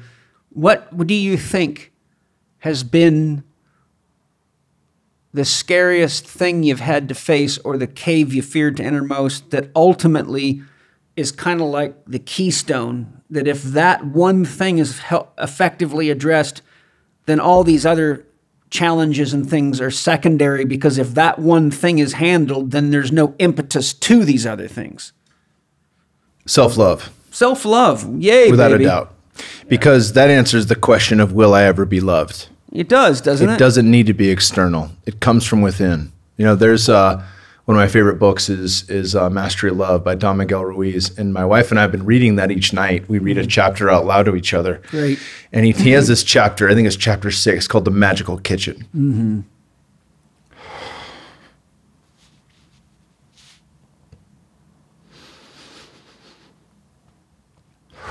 I wasn't I wasn't sure when I'd get choked up in this conversation, but I knew it would happen. Well, that's good. And the Thank magical kitchen for sharing. is this place where you never run out of food. Mm-hmm. You have food, you bring friends over, you serve it to them, you give them your food. That is your love. You never run out of food, it's always there, it's infinite. And then one day, someone knocks on the door, and it's a pizza delivery man. And he says, Hey, I'll give you this pizza if you're hungry. But you have to do whatever I say. You have to do whatever I want you to do and then I'll continue to give you this pizza every day. You would, you know, you have the magical kitchen. And you're like, why the fuck would I do that? I'm not going to take that deal. I've got unlimited food. You want to come in and eat? Was his name Donald Trump? So that is the idea behind love. Our hearts, that is the magical kitchen. Yeah. It is unlimited love. We are beings of light and love. Yes. That God is love, and we are Yeah. of that source. All is of or nothing is. It's one of my favorite quotes from Paul Selig. We are of that divine love, mm-hmm. and it comes from within. It's the wellspring from within. And if I can tap into that, that is know thyself. That is knowing what is inside me. And if I can bring that to the surface and cultivate more of that, that's infinite. I can give that to anyone. I can hmm. give it freely without a need for return and without a need for external validation or external love or external things. And as that comes to me, then it's a gift, it's not a requirement or a necessity. That's what a saint is somebody who can love you even when you're torturing them. Now, Osho says in his lectures, because I've studied Osho extensively, he says the beauty of love is that it never works. And what confuses people about that is they don't really understand what he means. What he means is as long as you expect someone else to give you love and make you happy and make you feel good, it'll always lead to codependency and problems in relationships that ultimately lead to more pain and friction than connection and love. But when we learn to truly love ourselves, we make love every day. And when we know that we love ourselves and we can love ourselves and we grow to be able to stay loving, empathetic, and compassionate with ourselves through challenges, even challenges where we're disappointed with ourselves, and realize the higher part of us, the, the soul nature of us, can parent ourselves. In other words, we have the best mother and the best father in the universe inside of us, mm-hmm. right inside of us, metaphorically in our heart. And if we don't learn to love ourselves, then we have to beat people up. We have to steal shit. We have to do lots of drugs. We end up expecting others to make us happy. We blame mommy and daddy for everything wrong in our lives. And the list is very fucking long. And it costs billions of dollars in drugs and surgeries in this world every day and every year. So ultimately, that is the, the deepest cave, and that is the ultimate hero's journey.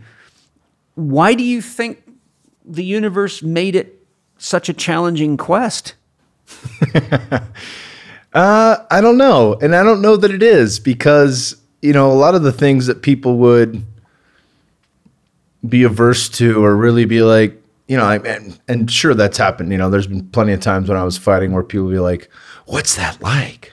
What's it like getting hit in the head? It's like, oh, I don't, it doesn't bother me. I get to hit someone else in the head. You know, It's- that, that, that might be harder for some people to wrap their head around, but the challenge, the work, there's beauty in all of it if I can just see it for what it is. Mm-hmm. Everything that I've gone through, all the all of the the hardest experiences have been the most beautiful, the most transformative. Yeah. I mean, just look at ayahuasca. For sure, one of the hardest teacher plants. And every ceremony I've had has been transformative and healing and given me insight and new perspective and allowed me to, to see the world with new eyes, to be born again, you know, for lack of a better term. But really, Well, that's what it is. yeah. And I think um, in any of those experiences, whether they're fighting, I mean, there's certain hindsight is 2020, and there's no doubt I can look back on every single thing that I've gone through with immense fucking gratitude. Yeah. I think the reason that it's uh, a challenging path is because one, it creates time. If it happened too quickly, one, it wouldn't be that valuable. Two, the quality of the experience would diminish. Imagine if there was a way you could become a millionaire in five days. Well, everybody would be a millionaire and it wouldn't mean anything anymore. But the path to being a millionaire for most people is, you know, the, there's an old saying, an overnight success only takes 20 years, and it's true. But I think it makes it meaningful. Um, and I think also it takes time because the depth of the human psyche is infinite. It, we are very complex beings. And look, I've studied my ass off for a very long time. And the more I learn, the more I realize I don't know. And it's taken me a long time in my life to get to the point where I can honestly go into that inner space in myself and say, Dear soul, guide me because I do not know the answer. I don't know how many men's 55 plus chewable vitamins I should take today. I don't know how many carrots I should eat. I don't know if I should eat an animal. I don't know if I should be a vegetarian today. I don't often even know how the best to parent my kid. I got all this knowledge, but look, there's a every expert on every side of the fence from Jordan Peterson who says whack the little sucker and show him who's boss to uh, Hazrat Inayat Khan, a Sufi master who says take your time, act from your heart, be patient, and treat that child exactly how you'd want to be treated if you were that child. And that takes tremendous development as a human being to be able to parent that way. And most people don't have that level of development. So when you get to the point where you can actually say, hey, I'm a smart guy, but I don't know shit, we get reminded of Socrates. And the Oracle of Delphi said he was the wisest man in the world. And he regularly admitted how often he didn't know right? And that for the ego is a big death threat to say I don't know, you know. So we get all this intellectualization and I'm an expert because I read a few articles or I have a PhD, but I've never really done anything but sit in a classroom and listen to other people talk. So the we've we've gotten some great juice out of the innermost cave. Let's go to eight, the ordeal. The supreme ordeal may be da- a dangerous physical test or a deep inner crisis the hero must face in order to survive in the. Oh, we already talked about that. Mhm, we got through the we're- ordeal. We got through. Or, we've we've talked about some ordeals now. Kyle, I'm getting to know you right here, baby. I mean, I thought I knew you, but I'm I'm, I'm falling even deeper in love with Deep you, dive. baby. Yeah, I know I'm safe with you, man. Um, nine reward seizing the sword. After defeating the enemy, surviving death, and finally overcoming his greatest personal challenge, the hero is ultimately transformed into a new state, emerging from battle as a stronger person and often with a prize. The reward may come in many forms an object of great importance or, po- or power, a secret greater knowledge or insight, or even reconciliation with the loved one or ally. Whatever the treasure, which may well facilitate his return to the ordinary world, the hero must quickly put celebrations aside and prepare, for the last leg of his journey.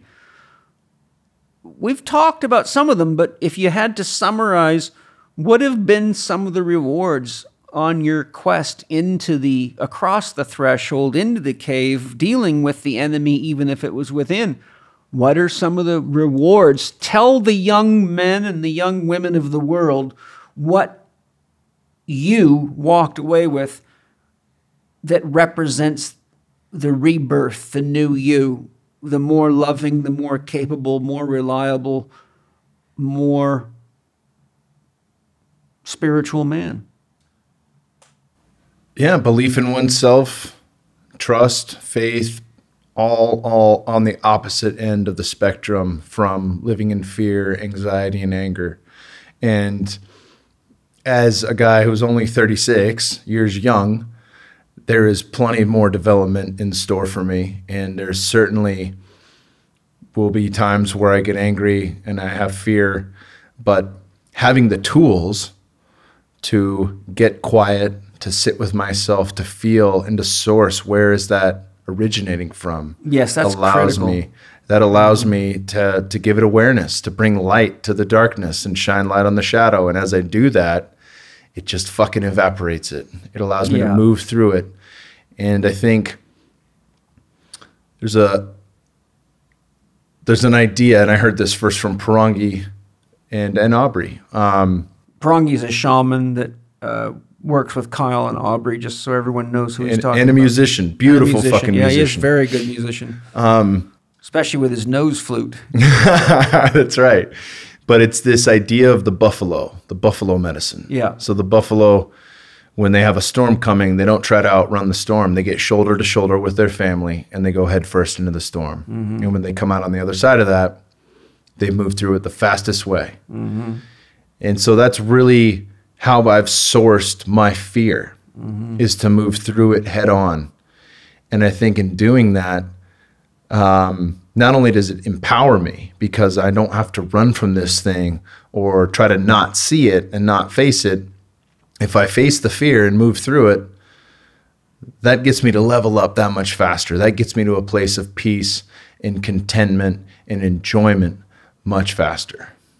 You know, one of the guys I studied a lot when I was a younger man, um, I would say probably in my um, late 20s, uh, early 30s, was Zig Ziglar. Are you familiar with him? Well, Zig Ziglar has a beautiful acronym for fear false evidence appearing real. Haven't you found in your own quest that a lot of the stuff that really altered your behavior or your relationship with yourself and others when you did get centered and look honestly at it was false evidence appearing real? Yeah, it's all bullshit. Fear, as Ted Dekker says, fear is an, is an illusion. Yeah. And there is no fear in love. Yeah. If I'm living in fear, I'm not living in love. Yeah. So that is a guiding light for me to sort my shit. If I feel fear, if I feel anxiety, if I feel anger, I'm not living in love in that moment.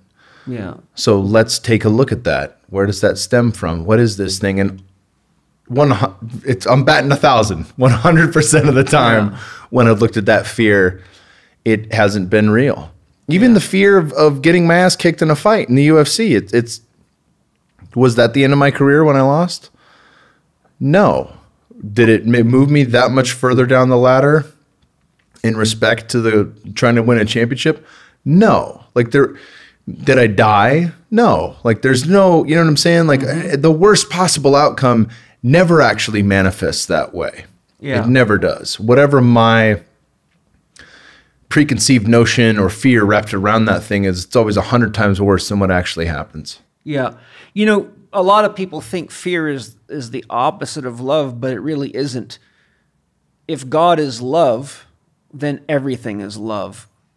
In the system that I teach my students in their holistic lifestyle coach training, um, fear is just a, a highly polarized form of love. It's like being in the outer edges of a tornado where the winds are blowing hard enough to drive straw through trees. Um, as you go from sex and what I call sex and violence loving to conditional loving, it's like moving toward the eye of the storm.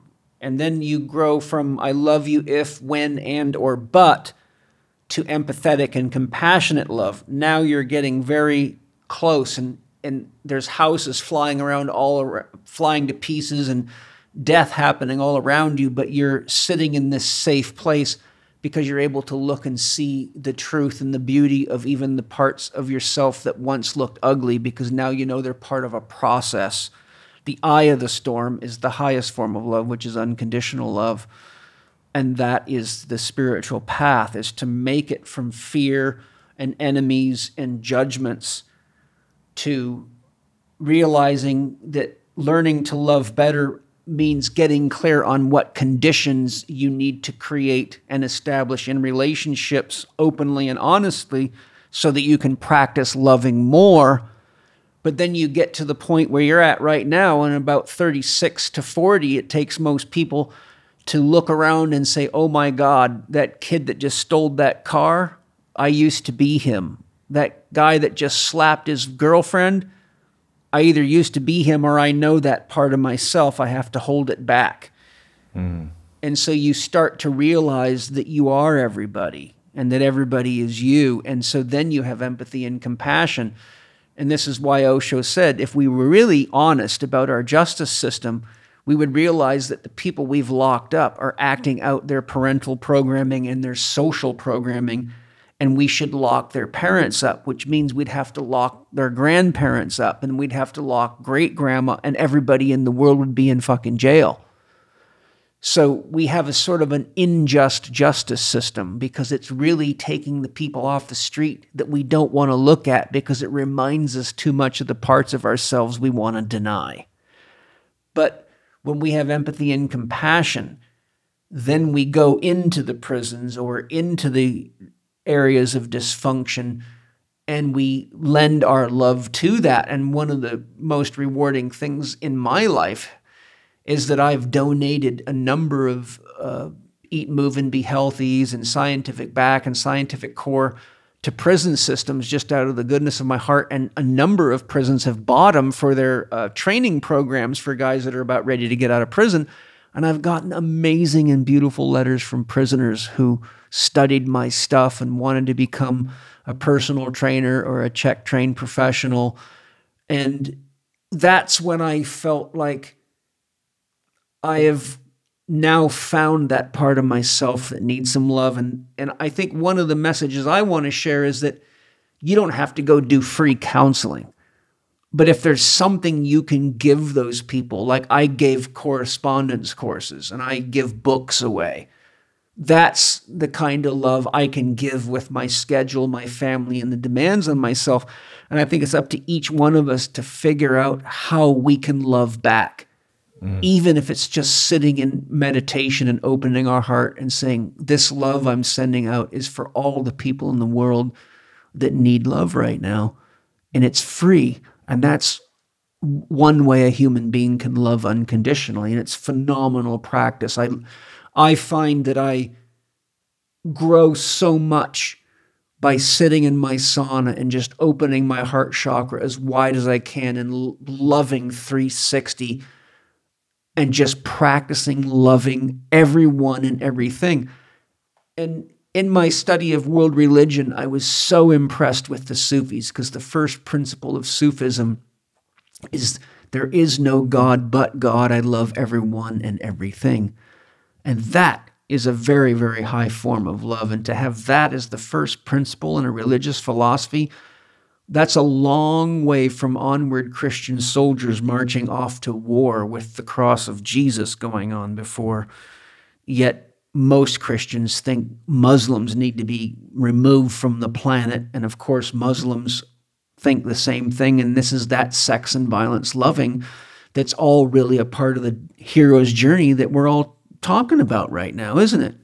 Eh, eh, the, the part of the grand message I'm trying to share is I'm sharing Kyle Kingsbury because he's a legitimate badass dude who's faced his fears and walked into those scary caves, stepped on the snakes, been bitten, healed himself. And this is about saying to you, all of us are on this journey. All of us have this to heal. Everything Kyle's talked about, everything I've talked about, every one of you listening has this stuff to deal with. And if you think you don't, I'll quote Laird Hamilton you need to go sit for a long time under a very tall tree. now, we are at stage 10, the road back. This stage in the hero's journey represents a reverse echo of the call to adventure in which the hero had to cross the first threshold. Now he must return home with his reward, but this time the anticipation of danger is replaced with that of acclaim and perhaps vindication, absolution, or even exoneration. But the hero's journey is not over and may still need one last pushback into the ordinary world. The moment before the hero finally commits to the last stage of his journey may be a moment in which he must choose between his own personal objective and that of a higher cause. You've, you're clearly on the road back. Where is the personal objective and where is the higher cause for Kyle right now? Or is it one or the other? Well, the personal objective has been sorting my shit. It's doing my own self work. It's continuing that work. It's knowing that it's it is a never ending growth process that that doesn't have any endpoint in sight. And the higher cause in healing myself is to share that medicine with the world. It is to deliver the medicine of play and laughter and not taking shit so seriously yes and and self-love and maybe disregarding and then that doesn't have to be my way doesn't have to be your way but maybe starting to take down tear down some of the walls and ideologies and dogma and, and conditioning that we've been programmed with and figuring out the different ways that we can do that so that we can live the life of our dreams and sharing that with other people and I just want to reiterate something I shared earlier, but I think it's important to share it again. If you can't do it for yourself, do it for the world because your shit is our shit. Your shit is mom and dad's shit. Your shit is governmental shit. Your shit is the shit of a dysfunctional education system.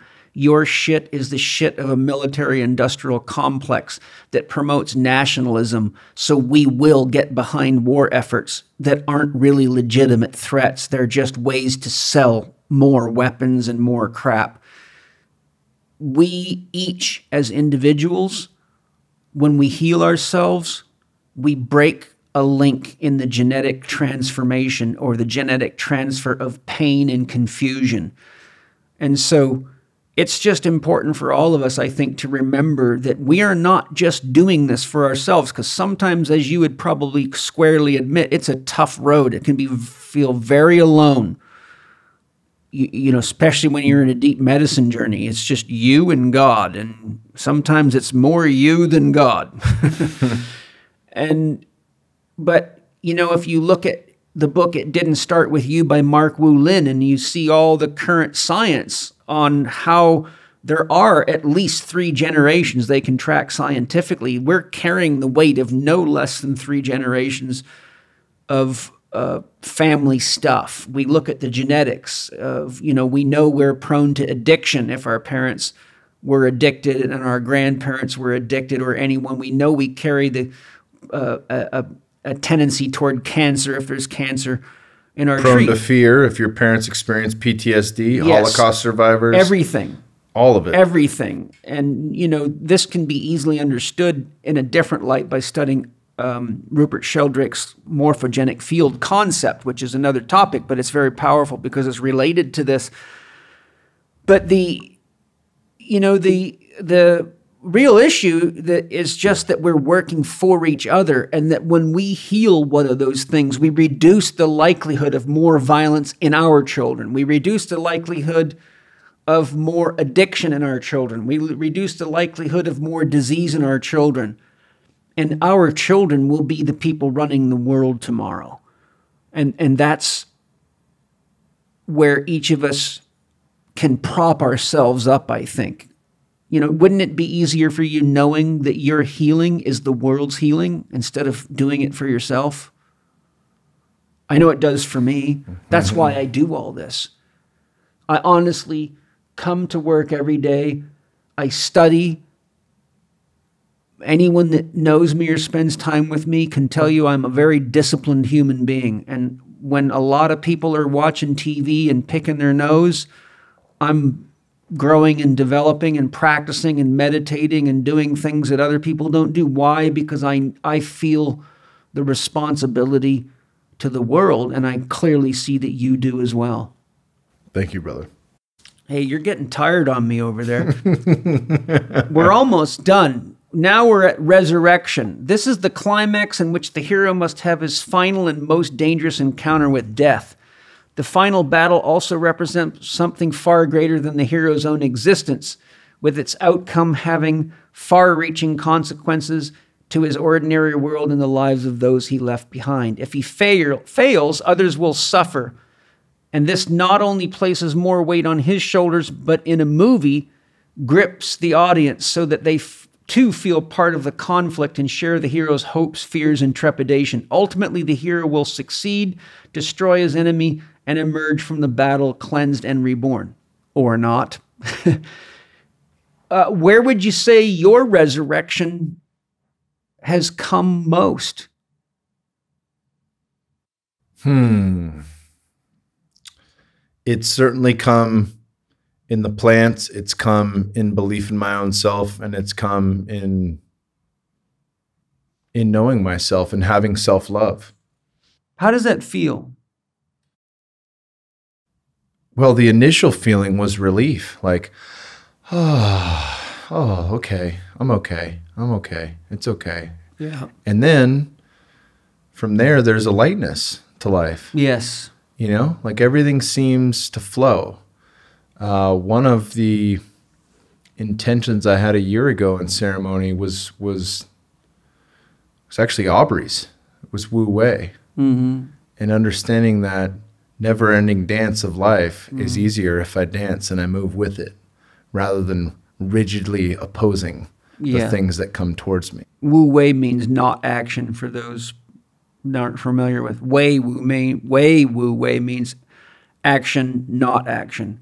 Wu Wei means not action, doing, not doing, which is paradoxical for people, but really it means acting from your heart and your higher self, not your ego, or following the flow of spirit or Gaia Yeah. or that which is greater than you. Yeah, I think unpacking resistance to any challenge with acceptance and appreciation, and then moving into enjoyment and enthusiasm about life. I mean, that's that's the goal for anything, and I think that's as I surrender into what is, it makes everything else fucking easier. You know, one of the things that Penny and I were excited to find that we had in common when we met and um, began our relationship together 22 years ago now was that we both had studied a lot of Napoleon Hill, and I spent a lot of time studying Napoleon Hill, and I, I really think he added a lot of value to my life. But Napoleon Hill says behind every cloud of gray is a silver lining. And isn't really that what you're sharing right now? But you just have to be patient enough and stay conscious enough to decide to look for the silver lining instead of focusing on the cloud of gray. That's it, brother. You are now at step 12. We are about to close the circle on the hero's journey. I can't promise you that this is going to be the end because the circle doesn't actually close. It is a spiral that goes from earth to heaven, and heaven has no ceiling, so it goes forever and ever and ever because God has nothing else to do but experience God, and we're it. 12. Return with the elixir. This is the final stage of the hero's journey in which he returns home, or she, forgive me, girls, with all this he stuff, which in which he or she returns home to his ordinary world, a changed man or woman. He will have grown as a person, learned many things, faced many terrible dangers and even death, but now looks forward to the start of a new life. His return may bring fresh hope to those he left behind, a direct solution to their problems, or perhaps a new perspective for everyone to consider. That's the whole point of this podcast and yours and our lives. The final reward that he obtains may be literal or metaphoric. It could be a cause for celebration, self realization, or an end to strife.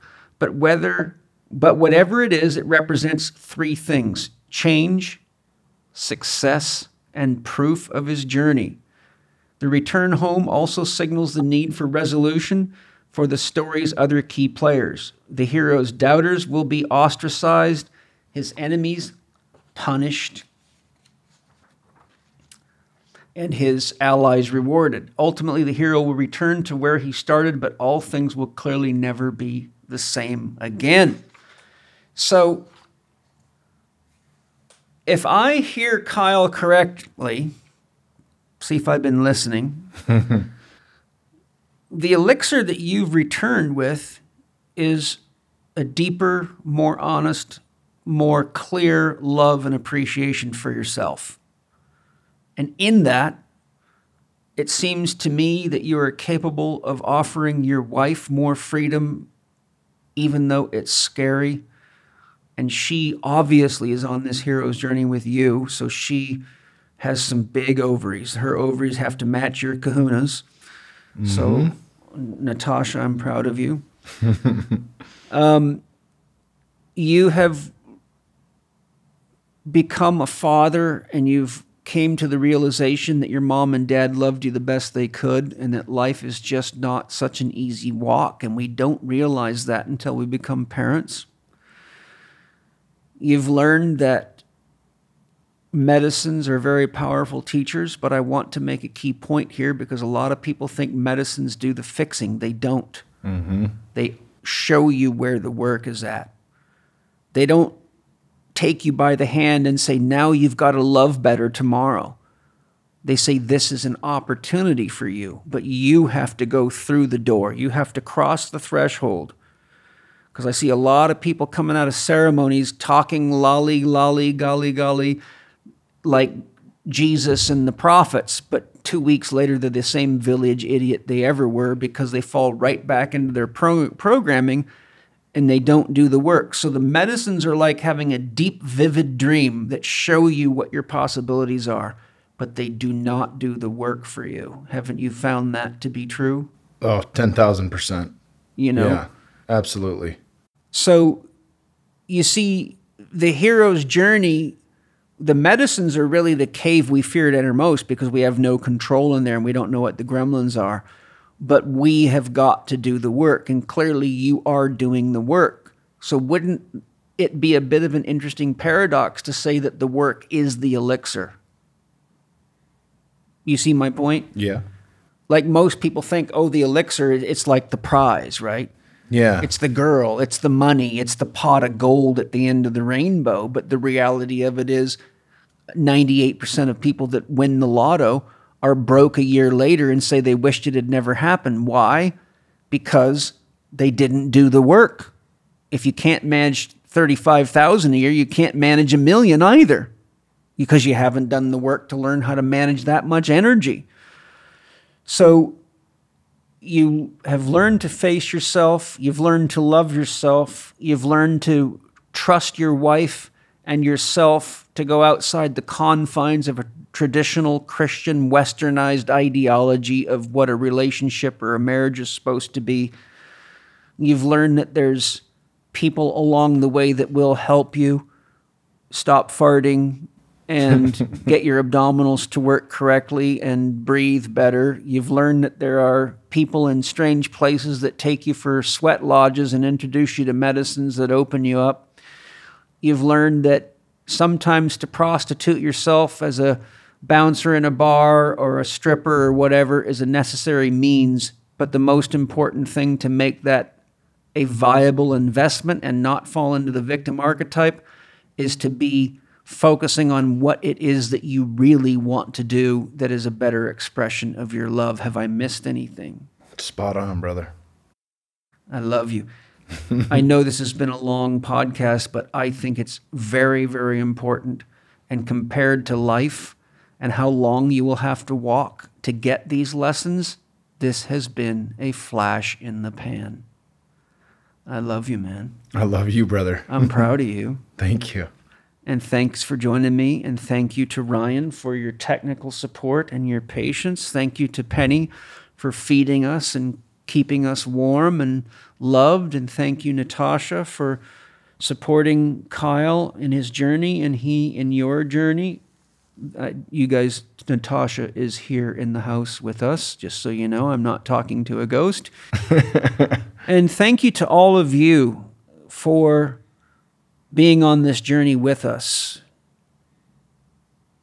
We do love you because we are you and we feel your love, whether you know it or not, because we are you and you are us. So, a whole great spirit. Kyle, until we meet again and do another podcast, continue being the perfect Kyle Kingsbury.